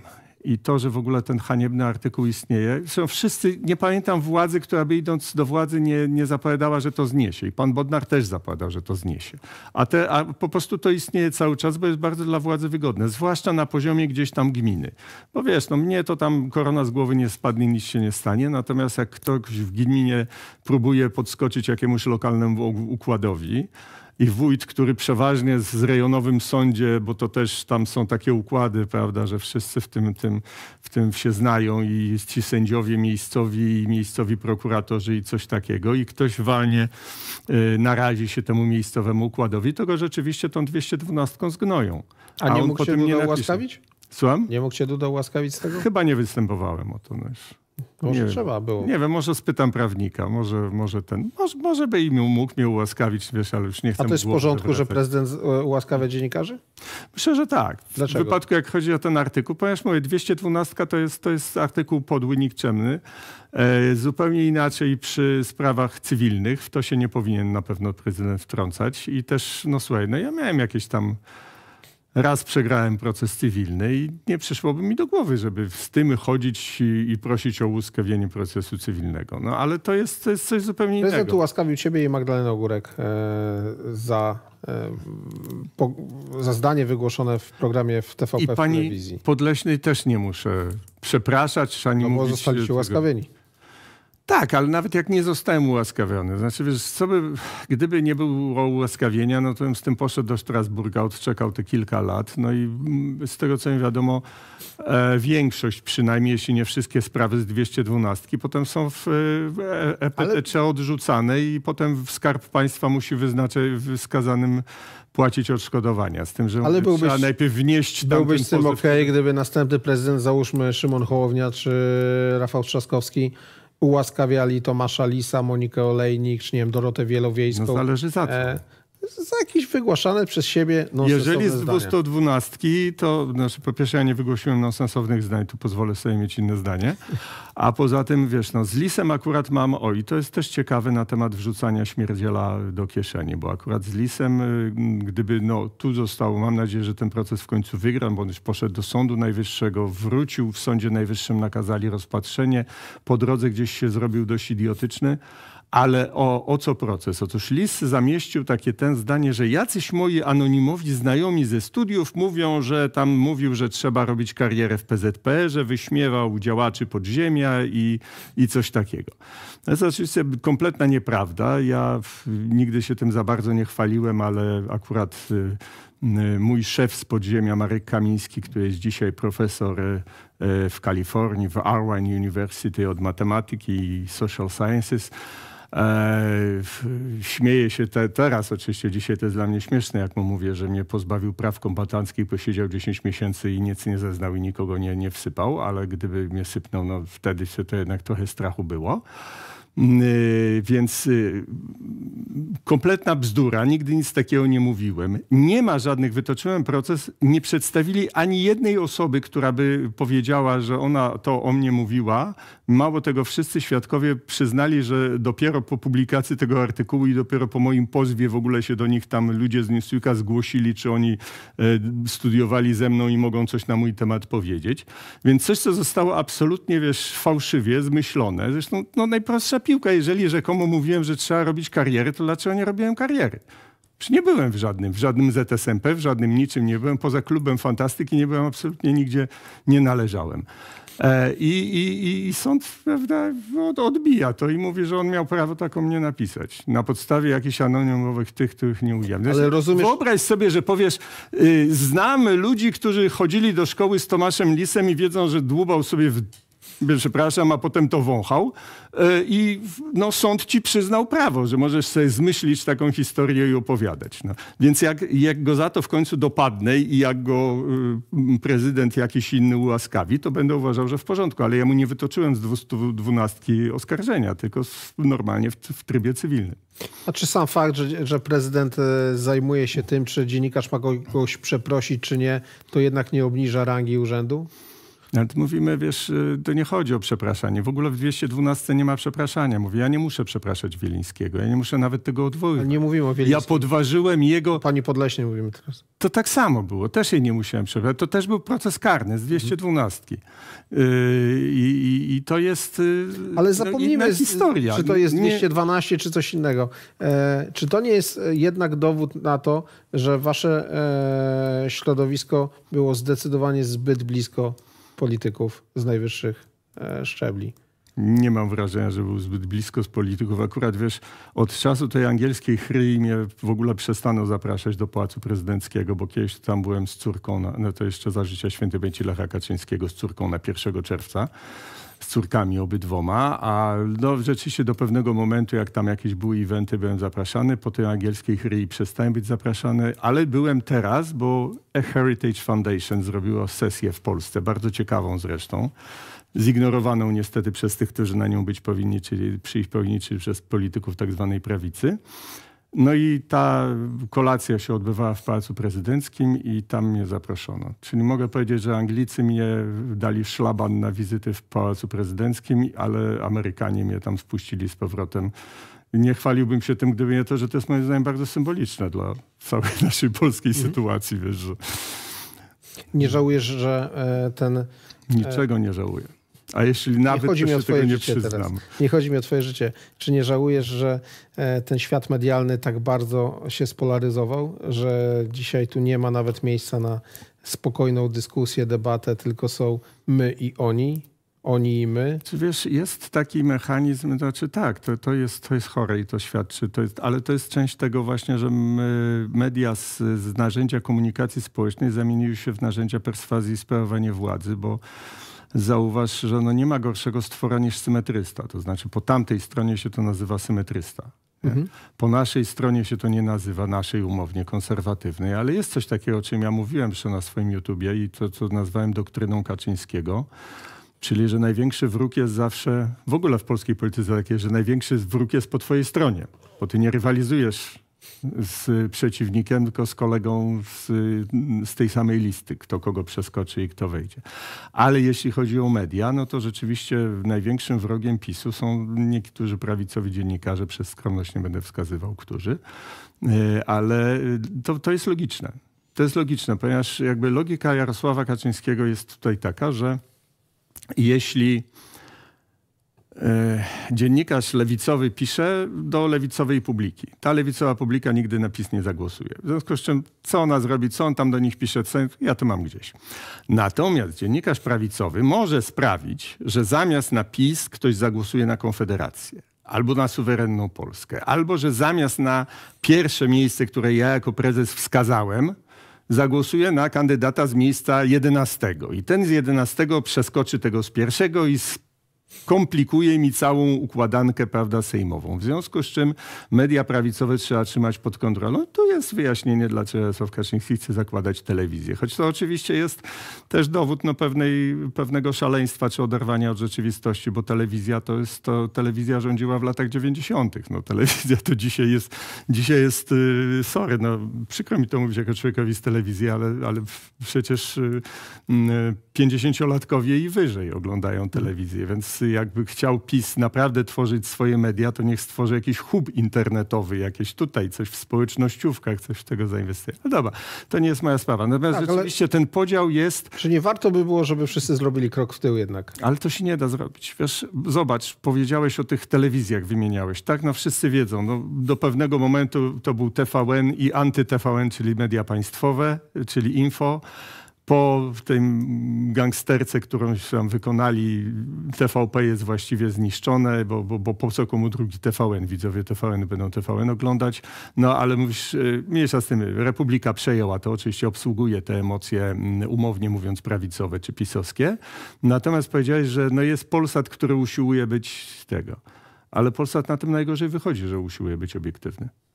Bo niestety konsumenci mediów, i to jest coś, w czym ja odmawiam współpracy, nieszczęści konsumenci mediów, wiesz, ja mogę sobie pozwolić na rozmaite mocne rzeczy na Twitterze, ale e, tam, gdzie piszę na poważnie i na serio w swoich tych poważnych tekstach, to, y, to odmawiam po prostu współpracy z tym, że ludzie chcą, żebyś, wiesz, przy Ego. Werbel, tu jesteś wojskiem. Jak Ludzie mówią, nie chcą być informowani, oni nie chcą wychodzić z własnej bańki. Oni Niestety, chcą być infor- tak. inaczej, chcą być informowani tylko o tym, co, Co pasuje słyszeć. do ich światopoglądu. nad czym żerują świetnie media społecznościowe. No, bo jak wiesz, jak zalajkujesz ileś tam te, i te media jednym wiedzą, co drugim, to co, żeby ich nakręcić, żeby oni od rana do wieczora chodzili. Ale rzeczywiście to jest...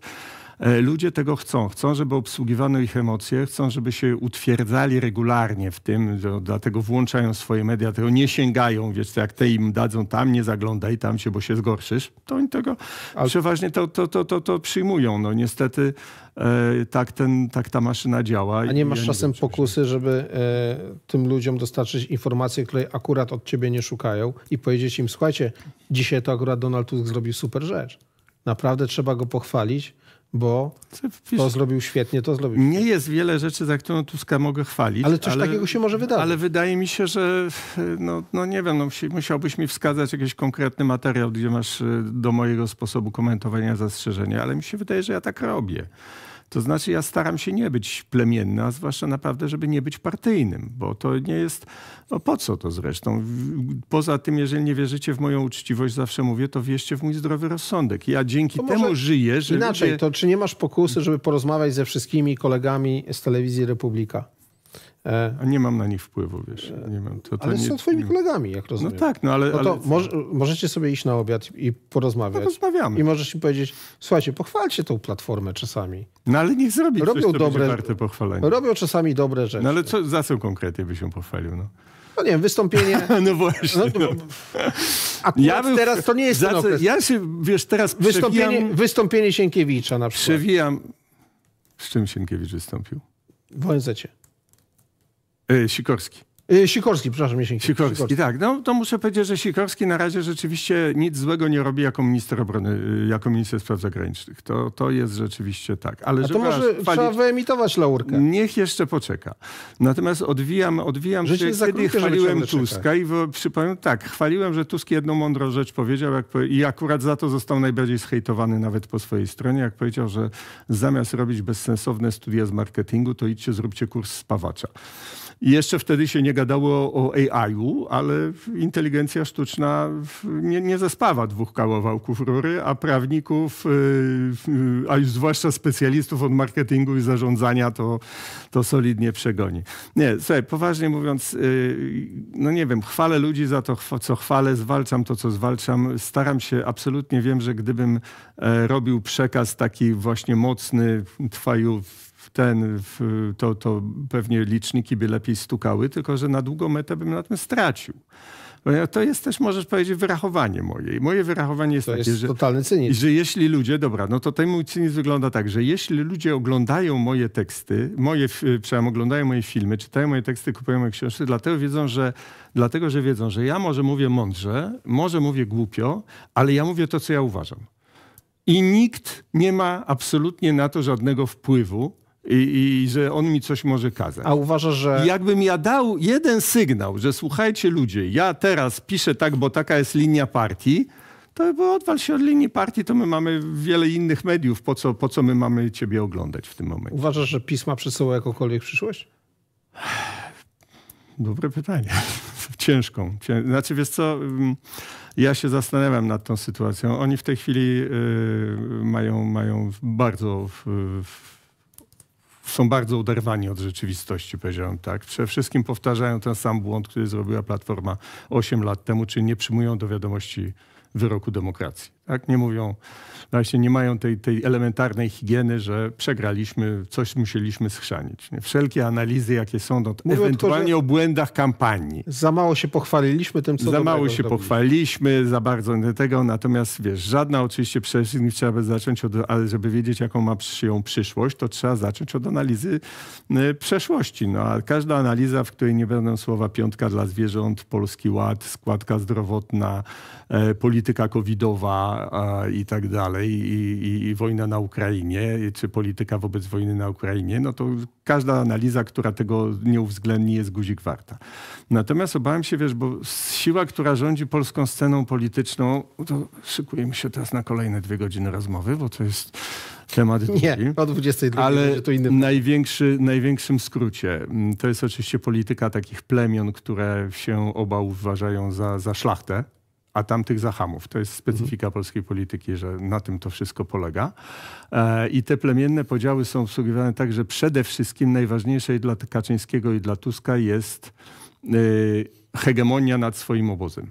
A dopiero na drugim miejscu to jest y, walka o władzę w kraju. Przy czym różnica między tymi panami ujmuję to krótko taką formułą, że Jarosław Kaczyński, że, że powiedzmy, zacznijmy od Tuska, że Donald Tusk jako polityk nie ma hamulców. On się niczym nie, on nie ma skrupułów. On może każdą rzecz powiedzieć, on może prawda, fotografować się na tle krzyża papieża z rodziną, a następnego dnia powiedzieć, że jest za aborcją, kto nie jest, to go wywali z partii i tak dalej. Nie ma żadnych hamulców, co u polityka jest plusem. To znaczy nie z punktu widzenia państwa czy rządzonych, ale z punktu widzenia skuteczności. Natomiast Jarosław Kaczyński z kolei nie ma biegu wstecznego. I jak coś palnie głupiego, to wszyscy są winni, tylko nie on. A jak ktoś mu powie, albo udaremni głupotę, to kończy jak Jan Krzysztof Ardanowski albo jak Gowin, którzy przecież no, mieli świętą rację, ale nie wolno mieć racji przeciwko prezesowi.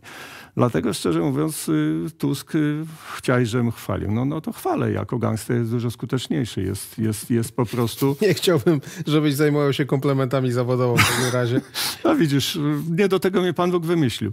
Nie, jest, jest skuteczny. Znaczy, gdyby Tusk nie wypiął się na swoją partię i na Platformę w 2014, że on to ma gdzieś ten kraj, bo on jedzie robić wielką karierę w Europie i jeszcze zostawiając tu takich nielotów, no nie można inaczej nazwać politycznych, jak pan Komorowski i pani Kopacz, to by w życiu PiS do władzy nie doszedł. On dostał tę władzę, szansę zdobycia tej władzy właśnie przez Tuska. Natomiast jest wielką zagadką, co będzie dalej. Ja się nad tym zastanawiam i myślę, że mm, jakby Tusk ma dwa warianty i w tej chwili najpierw myślałem, że to jest wariant, że on tutaj narozrabia, rozwali wszystko, prawda, tak jak telewizję, jak prokuraturę, absolutnie rządząc uchwałą i pałą, kompletnie się nie przejmując żadnymi prawami, a potem czmychnie do, do Brukseli po raz drugi. Ale ja już widzę, że tam dla niego nie ma oferty. Pani von der Leyen mówi, że ona szefową komisji chce zostać, bo jej się fajnie spodobało. Żadnych, no, ma poparcie Webera, tam nie ma żadnej oferty, zresztą dopóki, myślę już wchodząc na poziom geopolityki, dopóki Niemcy nie dobiją z Rosją dealu w sprawie Ukrainy i z Ameryką, to na pewno tam nie będzie miejsca w Unii Europejskiej na żadnego Tuska. Więc co teraz Tusk zrobi? Jak go znam, bo wiesz, znowu go pochwalę. To jest polityk jakby to powiedzieć ładnie, no, z jądrami. No, po prostu on się nie boi podjąć ryzyka. Kluczowy punkt jego karierze. Przy jego wszyscy tam do pewnego momentu, do 2007 roku, wszyscy go lekceważyli. Kaczyński go też zlekceważył i dlatego przegrał. On cały czas chciał walczyć z Kwaśniewskim, z postkomuną. A tam Tusk jakiś tam tego. Jego lekceważyli wszyscy. Dlaczego on nagle wyrósł na numer jeden? Bo w momencie, kiedy wszyscy tchórzliwie bali się wyborów i mówię, zrobić rząd samoobrony, znaczy z Giertychem, Leperem, SLD, wszystkich po prostu razem i ten rząd, żeby rządził pod premierem technicznym Kaczmarkiem. Nie wiem, czy ktoś jeszcze pamięta te czasy w ogóle, jak to wtedy funkcjonowało. E, I ten rząd będzie robił komisje śledcze, które przez dwa lata będą niszczyć PiS i dopiero wtedy wybory, bo tak jak PiS pójdzie do wyborów, to wygra, bo to jest taka, on się odwołał do najgorszych instynktów tej, tej, tej roszczeniowej polskiej hołoty, prawda, i tak dalej. A Tusk powiedział, nie, nie będziemy się wchrzaniać w żaden rząd z Leperem i Giertychem, idziemy na wybory, wygramy albo przegramy. No i akurat wygrali wtedy, ale jeszcze dwa tygodnie przed wyborami tam po wszystkich tych, zobaczcie państwo, roczniki gazet wyborczych, tam był płacz straszny, że po prostu koniec z nami, faszyści wygrywają i tak. Ja myślę, że Tusk teraz zrobi taki ruch bank po, yy, po wyborach europejskich, czyli zaproponuje Kaczyńskiemu taki deal, zagrajmy o wszystko. The winner takes it all, nie? Czyli zmieńmy konstytucję tak, że prezydent naprawdę rządzi, a potem robimy wybory prezydenckie. I oczywiście w tych wyborach prezydenckich Tusk nie pozwoli, żeby startował się Hołownia czy Trzaskowski, tylko on będzie startował, bo to jest jedyny sposób, że on wrócił do wielkiej polityki jako prezydent Polski. Jego tam zrzucili z tej karuzeli w Unii. Posłali go, Donald, tam wracaj do siebie, do kraju, prawda, sprzątaj tam. A Kaczyński też prawdopodobnie nie nie, nie będzie wtedy stawiał nikogo innego. I to będzie homerycki bój w przyszłym roku dwóch największych mocarzy. Ostatnie wybory o wszystko, o samą demokrację, o Polskę, o tego. I ja po prostu chory jestem, jak sobie wyobrażam tę kampanię wyborczą i te Majdany i Majdany potem jakby i ten, że sfałszowali, tylko jeszcze nie wiem, którzy będą mówili, że tamci sfałszowali, no ale ci, co przegrają, będą krzyczeć, że sfałszowali, a ci, co wygrają, będą krzyczeć, że, że, że demokracja zagrożona i no, tak widzę przyszłość. Żeby krzyczeć, trzeba mieć e, swoje media. E, dzisiaj media prawicowe są postrzegane jako media pełne wariatów, szurów, e, nie. Tak, mi się to chyba już tak. Nie, to chyba nieaktualne. Wiesz, Gazeta Wyborcza zdołała to zmienić, naprawdę.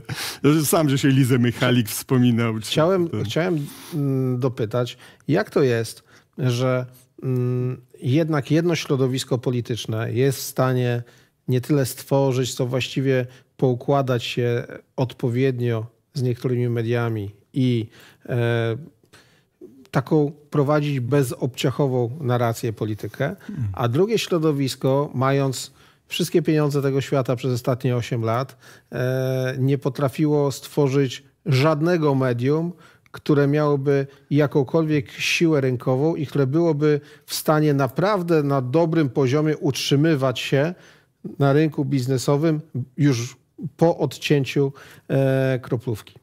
Znaczy, mm, obciachu to jest jedno. Obciachowe, nieobciachowe to, co, co jest obciachowe, a co nie jest obciachowe, zależy od tego, kto decyduje, co jest obciachowe, a co nie. I to właśnie o, o, o tym była, to była zjawisko Michnikowszczyzny. O tak. to tu chodzi, kto przejmuje te narzędzia do dystrybuowania szacunku tak. i kto ustala, że wy jesteście obciachowi, a my jesteśmy autorytetami moralnymi. Natomiast jeżeli pytasz o te ostatnie 8 lat, to co ja mogę powiedzieć więcej niż już powiedziałem przywołując pojęcie, które sam stworzyłem, doktryny Kaczyńskiego, jeśli chodzi o media. Te, dlatego nic z tego nie wyszło, że to było na krótkim sznurku. No, zobacz, nie wiem, Polska Press.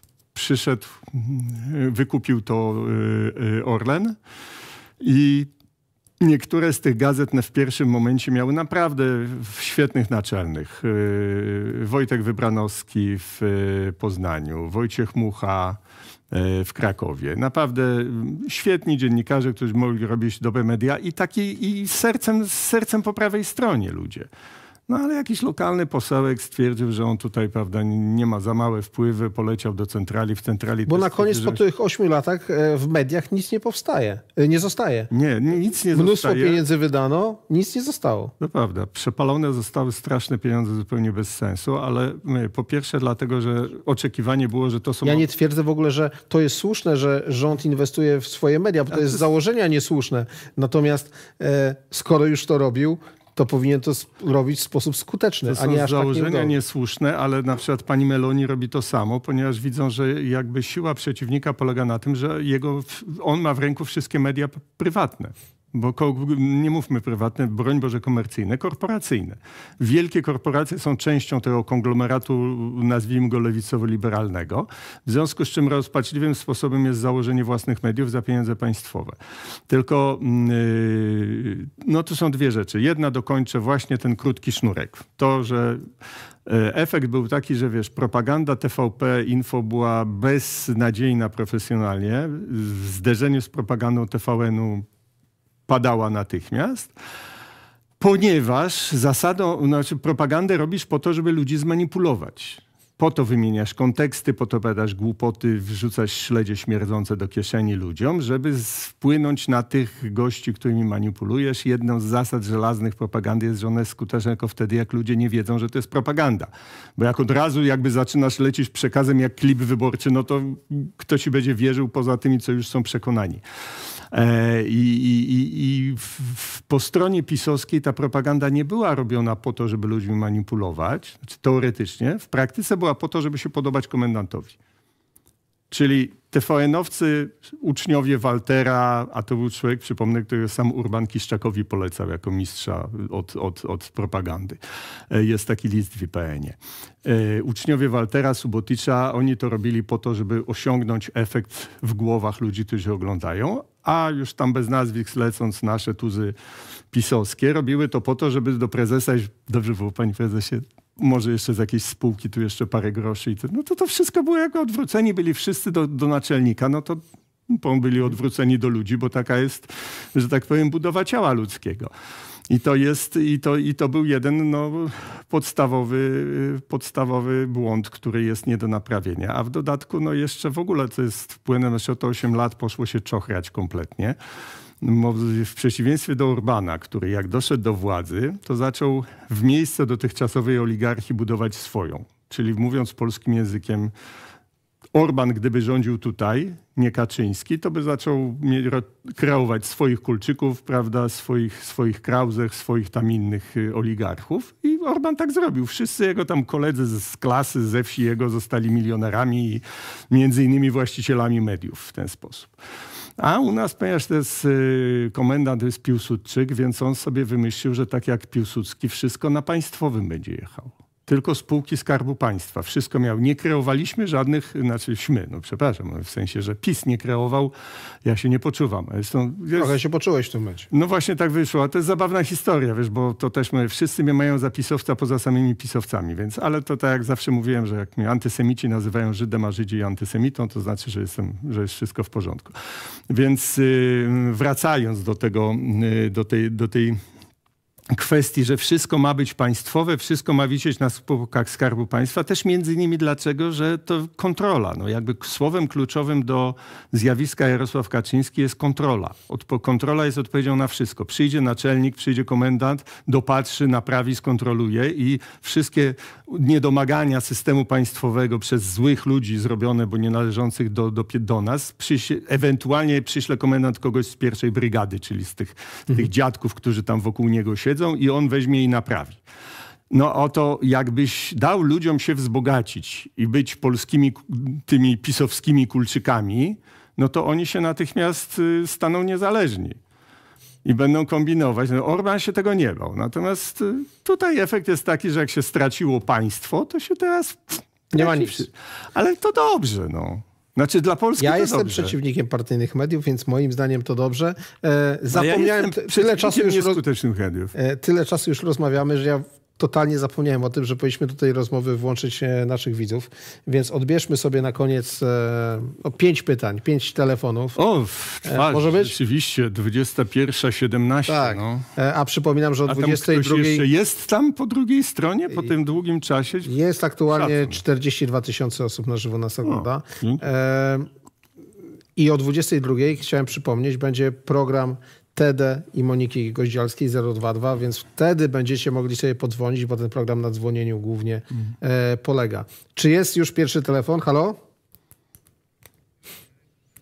Jeszcze nie ma, prosimy dzwonić. 22 Aha, 10 32 000 jest telefon. Halo, kto jest z nami? Halo. Dzień dobry. Dzień dobry. Dzień dobry, ja też powiem. Właściwie dobry, dobry wieczór. Dobry wieczór w zasadzie. Jesteśmy na antenie, proszę. Halo. Tak, proszę ściszyć sobie głośnik i rozmawiać z nami przez telefon. E, dobry wieczór i gratuluję milion studentów. Dziękuję. Ojejku, tyle czasu dzwonię, że zapomniałem, co chciałem powiedzieć. To chciałem powiedzieć, że mimo tego, że z panem Dziękiewiczem się nie zgadzam z jego poglądami, to oglądam go co niedzielę salonik polityczny i nie zgadzam się w zasadzie ze wszystkimi gośćmi, których zapraszam, no ale jakoś nie wiem, czy to jest moje guilty pleasure, czy jakiś poziom tych rozmówców, że mimo tego to oglądam co weekend. I mam takie pytanie, bo przed wyborami no, pan e, Ziemkiewicz jest człowiekiem, który zajmuje się polityką zawodową, można tak powiedzieć, ale państwa programy przedwyborcze w ogóle nijak się miały, te prognozy tego, jak wyborcy zagłosują, jak myślą o tym, co PiS robi, no nijak się miało do wyniku wyborów. Nawet w dzień wyborów pan Zienkiewicz na Twitterze pisał, że to na pewno zaraz się zmieni i że wpływają nowe wyniki i że za chwilkę w ogóle jednak PiS wygra. I jak pan Ziemkiewicz się do tego odnosi, że zupełnie się tak pomyliliście państwo i nadal niektórzy pana goście nie rozumieją, dlaczego PiS przegrał, tak jak na przykład pan Janecki. No. On cały czas myśli, że co, że PiS no wygrał? Nie, nie. Myślę, że tego by nie powiedział, że, że, że, że, PiS wygrał, ale rozumiem pytanie. Dziękuję bardzo, już odpowiadam. Mianowicie y, ja w, nie wierzyłem w tę mobilizację, która nastąpiła, bo proszę zwrócić uwagę, że mo, moje prognozy, czy takie, które się spodziewałem, I tak samo zresztą na tym się PiS przejechał, że tak właśnie samo sądził. Tylko oni mieli na pewno dużo większe dane ode mnie, żeby, żeby wiedzieć, e, co się w, w kraju dzieje. E, generalnie wszystko wskazywało jeszcze do, do miesiąca przed wyborami, to było wyraźnie widać takie, to, że będzie 60% frekwencji. A, I ten ostatni miesiąc zadecydował że było 13% więcej niż deklarowało gotowość głosowania y, miesiąc wcześniej i całe te 13% głosowało po to, żeby głosować przeciwko PiS, żeby PiS dłużej nie rządził. No więc tu jest pytanie, co się stało, jakie to były błędy zrobione w kampanii wyborczej, że tych ludzi y, obudzono Y, bo oni jeszcze miesiąc wcześniej sobie spali. Może też dlatego, że tutaj powiedzmy jednym z impulsów była decyzja Tuska, gdzie jak my zadziałał ten bieg wsteczny, którego Kaczyński nie ma. To znaczy on sobie zdał sprawę, Tusk, że z dwóch celów, które I zdolność stawia, do refleksji, mówiąc krótko. No tak, tak, że z dwóch celów, które sobie stawia, czyli zachować hegemonię nad własnym obozem i zdobyć władzę w kraju, jeden przeczy drugiemu. Jeżeli będzie dalej się upierał przy jednej liście, to ta jedna lista przerżnie tak, jak przerżnęła na Węgrzech. I zrobił w tył zwrot i nagle Hołownia przestał być kałownią i agentem Opus Dei i okazało się, że jest fajny facet i głosujcie na niego, bo jak trzecia droga wpadnie pod próg, to Kaczyński wygra wybory. E, no, no, no, no, i to zdecydowało. To, było, to, to, to go odblokowało, że, że te 13% mm, przyszło i w większości zagłosowało właśnie na, na, na trzecią drogę. Druga rzecz, no ja bym wskazał taki straszny błąd, właśnie oderwanie się od rzeczywistości przez, przez PiS, że oni się skupili, w ogóle zignorowali tych ludzi innych niż ich stały elektorat, a nie zrozumieli jednego, że jest cała grupa ludzi, którzy się, którym się bardzo dobrze żyje, bo na tym się PiS przyjechał, że skoro Polakom się żyje lepiej, to ci tacy Polacy nietożsamościowi no, cieszą się, że się żyje lepiej, bo to jest poza wszelką dyskusją. Nigdy tak dobrego poziomu życia nie było w Polsce. Zobaczymy, jak długo to się utrzyma. No więc jak ludzie żyją dobrze, to są to zadowoleni z władzy się odwdzięczą. To nie jest tak. Jak ludzie żyją dobrze, to zaczyna im przeszkadzać coś, co wcześniej im nie przeszkadzało.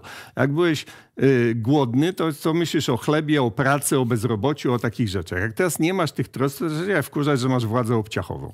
I chcesz mieć na przykład władzę nieobciachową. A najbardziej wkurzyło, myślę, wyrwało z letargu takich y, właśnie tych, co nazywam ich y, nowobogackimi na kredyt, to są ludzie, którzy odnieśli jakieś tam sukcesy, czy, czy wydaje mi się, że odnieśli sukcesy i są bardzo dumni ze swojej pozycji materialnej i jak zaczął Morawiecki opowiadać, że tu pieszcze za posiłki w szpitalach, a tutaj, nie wiem, na przykład klatki schodowe, a tu on właściwie codziennie chodził i opowiadał i to miał być ten, to miało być to perpetuum mobile, że będę tyle, tyle obiecywał, to na pewno wszyscy na mnie zagłosują. Efekt był taki... Jazda z kartonowym czekiem po Polsce. I tak jest. I efekt był taki, że ci obsypiwani łaskami przez PiS już, już po prostu były tak jak dziecko, takie, co już dostało 20 prezent pod choinkę, już go nawet nie ma siły otworzyć, bo już się zmęczyło i nie ma percepcji. A ludzie z wielkich miast, ci, co odnieśli sukces, zaczęli łapać żyłę. Kurde, Przecież oni nas wykończą, kradną nasze pieniądze, roz będą rozdawać jakimś nierobom te pieniądze. I to sprawiło, że się tam poustawiali w te kolejki długie. No i że z 60% wyszło 73%, a ja wyszedłem na idiotę rzeczywiście. No, w tym punkcie to... Poprosimy kolejny telefon. Halo? Kto jest z nami? Halo, tak. Dobry wieczór. Łukasz z tej strony. Yy, witam pana Krzysztofa, witam pana Rafała. Witam. Yy, takim pytaniem, może trochę odbiegającym od tematu, ale e, jeszcze niedawno na łamach do rzeczy pisał taki autor jak Waldemar Łysiak. Mhm. E, I pytanie do pana Rafała, e, może prosiłbym o przybliżenie trochę tej postaci, co się z nim teraz dzieje, jak pan czyta jego książki, jego poglądy i więcej już linii nie zajmuję i dziękuję bardzo. Dziękuję bardzo. To tutaj nie mam zbyt wiele do powiedzenia, no bo yy, nie chcę zdradzać tajników redakcji. Po prostu nie spełniliśmy oczekiwań pana Waldemara Łejsiaka, jeśli chodzi o mm, jego warunki pozostania na łamach. E, I też, no cóż, o ile wiem, to już lat 80 skończył, więc nie wiem, gdzie jest, czy jest w tej chwili jeszcze aktywny, bo co ja ostatnio widziałem na Twitterze, że była taka piękna rocznica obchodzona. No i yy, tyle mam do powiedzenia. Przepraszam, nie chcę recenzować jego. Wiem, że wielu, wielu ludzi y, kupowało, właśnie chętnie czytało te jego teksty. Wielu innych się oburzało na te jego teksty. No ale myślę, że Wojciech Cejrowski, który zajął to, to miejsce na ostatniej kolumnie w, w no też wzbudza kontrowersję i O, bez z pożytkiem zdań. dla pisma. Bez dwóch zdań. A E, kontrowersyjny felietonista naprawdę dobrze gazecie robi. e, poprosimy jeszcze trzy telefony, bo tyle obiecałem. E, kto jest z nami? Halo? Adrian z Warszawy. Cześć Adrian.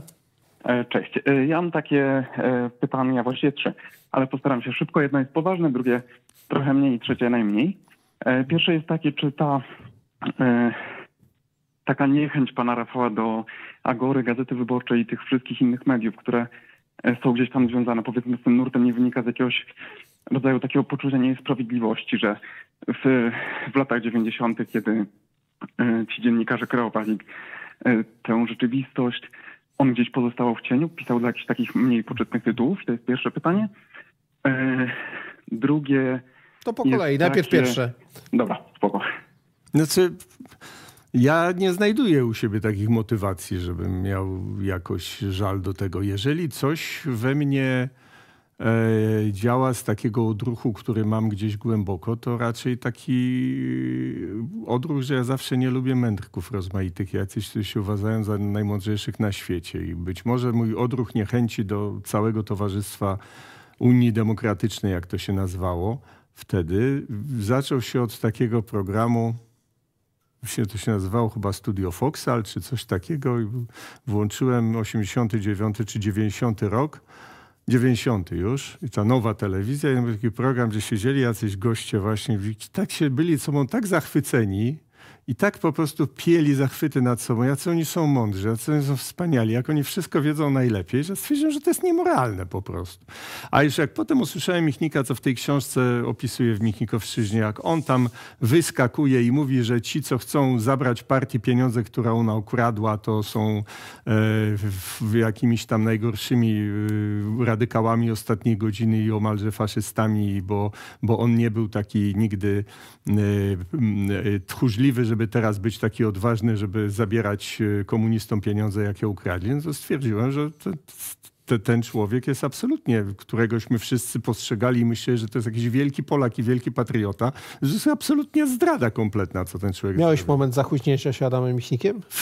Wszyscy w 80 latach go uważali za, e, bo on takim e, uchodził takiego człowieka strasznie odważnego wobec komunistów. On się tam wyrywał do nich, szarpał z nimi. Sam Michnik się potem przyznał w wywiadzie, że on po prostu uważał, że on jako komunista, bo się czuł komunistą i jako syn komunisty, czyli jakby człowiek, on miał takie poczucie kompletnej bezkarności, że oni mu nic nie zrobią i dlatego był taki do nich, prawda? A ludzie go podziwiali, Jezu, jaki on odważny. On po prostu uważał, że jemu nic nie grozi.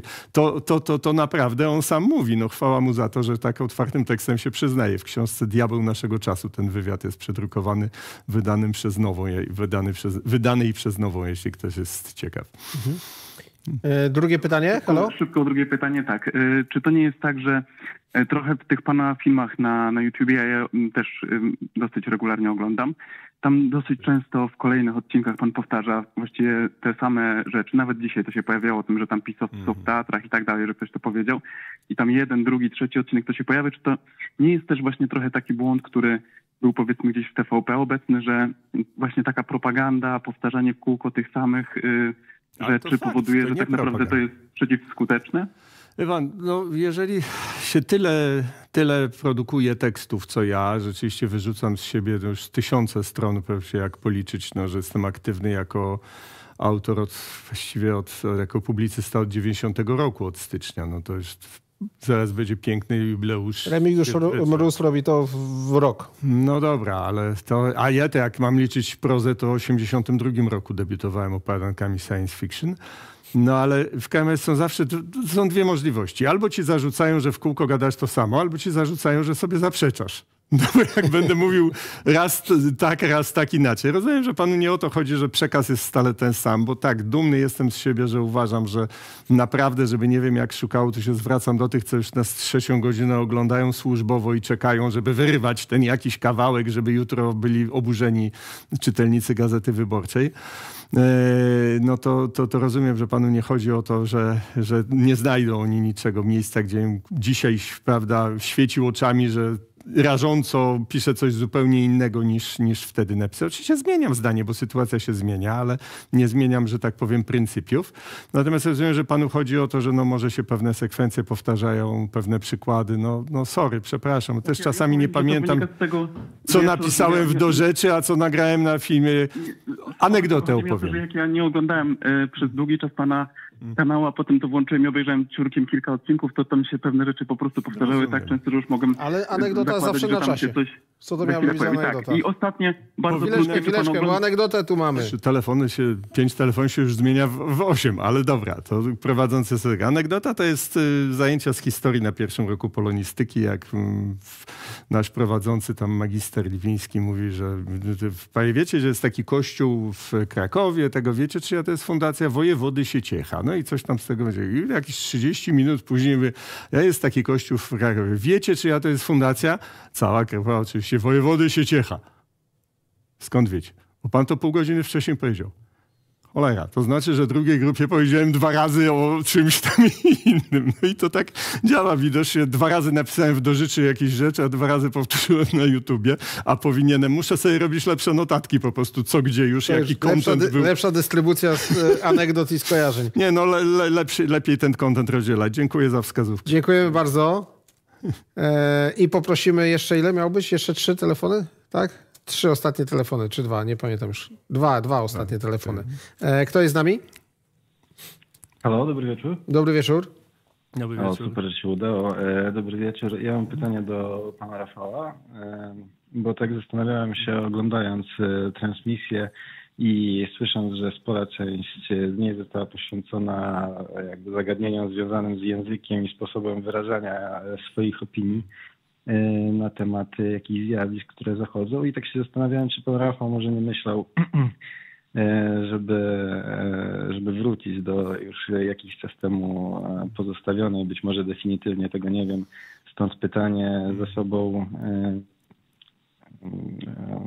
twórczości związanej z fikcją, e, z science fiction konkretnie. E, Bo zastanawiam się po prostu, czy nie byłoby może momentami e, prościej zamiast e, pisać książki, które dotyczą naszego świata i w nich e, te opinie prezentować, e, napisać powieść e, w jakimś świecie alternatywnym, w którym tak naprawdę wszelkie e, zdanie na temat e, tych e, rzeczy, które się dzieją, osób, zjawisk e, i procesów mógłby wyrażać e, właśnie w sposób dowolnie ostry i dowolnie nawet wyolbrzymiony, jeżeli taką by miał wolę, jednocześnie jakby nie narażając się na e, tu zasadne czy, czy niezasadne, to bez znaczenia, Wszelkie podobieństwo to, że Dziękuję bardzo. tak, dokładnie. Troszeczkę na tej zasadzie, troszeczkę na tej zasadzie. Dokładnie. Jest, jest taka formuła, wszelkie podobieństwo osób i zdarzeń, tam tak dalej, jest przypadkowe. Znaczy, poważnie mówiąc, y, raczej wątpię, żebym wrócił do pisania prozy narracyjnej, jak to nazywam, bo uważam, że to, co piszę, to też jest rodzaj prozy, bo to bardzo się zmieniło w literaturze od czasów, jak zaczynałem. Ale takie mam dwa odpo- dwie odpowiedzi. Jedna to jest trochę greps, ale zgodny z prawdą, że jak m- bym miał teraz pisać fantastykę czy powieść współczesną, się czuł, jakbym żonę i dzieci okradał z pieniędzy. Bo po prostu popyt na to jest dużo mniejszy i, i, i tyle. A ja się, przecież wszystkie pieniądze, które mam, przeznaczam na potrzebujące kobiety, więc to, to nie jest tak, że to dla siebie zarabiam tutaj jakoś. Natomiast y, y, druga rzecz jest y, no, taka, że, że fantastyki na pewno już nie pisał, bo ten gatunek odszedł zupełnie. Y, Jednak na szczęście, jak na razie nie ma cenzury takiej, jak była za PRL-u, więc nie działa ten argument, że się coś umieści na obcej planecie i napisze, że to nie ma nic w związku z tą metodą Zajdla świętej pamięci, e, pisanie aluzjami. No bo nie, bo jednak mogę pisać e, wprost, mogę być za to na różne sposoby atakowany, ale jak na razie jeszcze e, mogą być straszeni moi reklamodawcy, ale jak na razie jeszcze prawda, nikt mnie za to nie próbuje ocenzurować, nie ma takiej opcji. No, poza tam różnymi algorytmami, które w, w, dopatrują się czasami dziwnych rzeczy. E, No i szczerze mówiąc, nie bardzo miałbym pomysły chyba dzisiaj, żeby wrócić do, do, do pisania powieści. Także dziękuję bardzo. Może na starość kiedyś, może jak już e, dziewczyny się usamodzielnią, a ten moment jest bliski, bo już dorosłe, m, może, mo, może kiedyś, ale na razie nic się nie zapowiada. No i czas na ostatni dzisiaj telefon. Halo, halo, halo. Halo, halo, halo, czy to ja? Tak jest. Witaj Krzysztof, witaj Rafał. Przepraszam, jestem w tym gronie najstarszy, więc sobie pozwolę mówić do Was po imieniu. Miałem przyjemność dodzwonić się w trakcie Twojej pierwszej audycji 1 lutego, Zbyszek z Vancouver z tej strony. No, witam E, serdecznie. Mam przyjemność i dzisiaj przy milionie, także gratuluję, gratuluję. Bardzo dziękuję.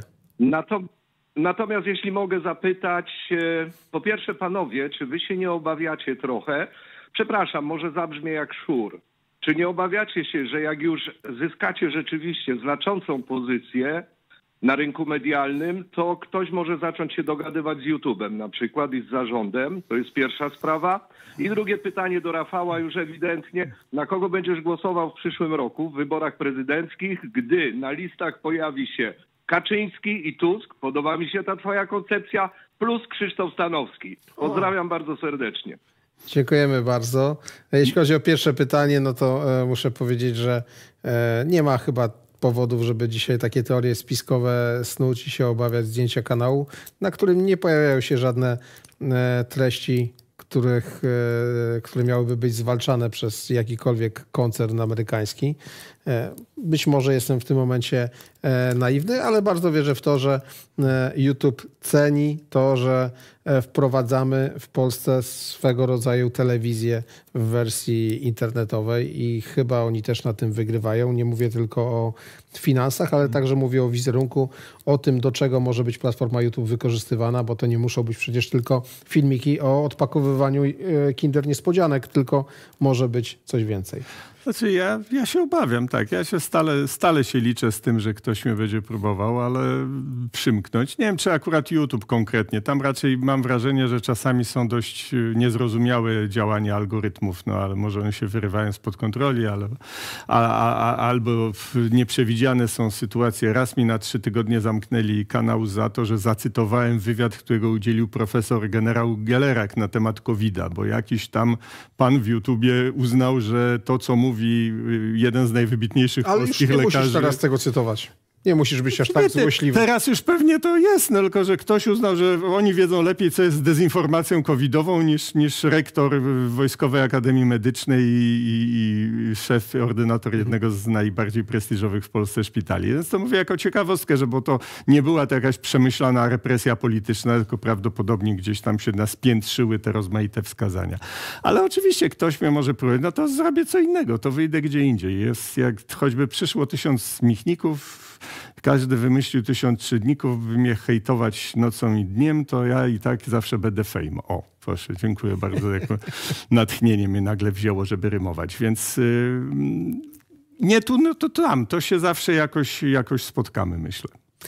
Zaczynaliśmy tę transmisję przy 997 tysiącach e, subów. Mamy milion i tysiąc w dodatku. Bardzo wszystkim dziękuję, którzy te suby e, zostawili. Mam nadzieję, że będzie was tylko coraz więcej, ale na razie kłaniam się tym, którzy już kliknęli gdzie trzeba. Kliknijcie też dzwoneczek, bo sam sub nie sprawi, że będziecie informowani o naszych transmisjach, a jak klikniecie dzwoneczek, to mm, szansa znacząco e, wzrośnie. We wtorek dziennikarskie zero. Mam nadzieję, że już ostatnie moje na temat Gazety Wyborczej i tego mojego starcia z Gazetą Wyborczą. Jest kilka fajnych e, rzeczy, które należy omówić, więc e, będzie interesująco. A za dzisiaj bardzo, tak? To zobacz, jak to się sypie w tej chwili. Tak, tak, tak, leci tak, po tak, prostu tak, tak, te, te, tak. te suby. No rzeczywiście nieźle, nieźle. A za dzisiaj bardzo dziękuję Michnikożercy, Rafałowi Ziemni- Ziemkiewiczowi, bardzo dziękuję. I zapraszam Was wszystkich na godzinę 22. Tutaj Tede i Moni- Monika Goździalska będą z Wami rozmawiać już na tematy znacznie e, luźniejsze, e, takie w sam raz do poduszki. Do zobaczenia.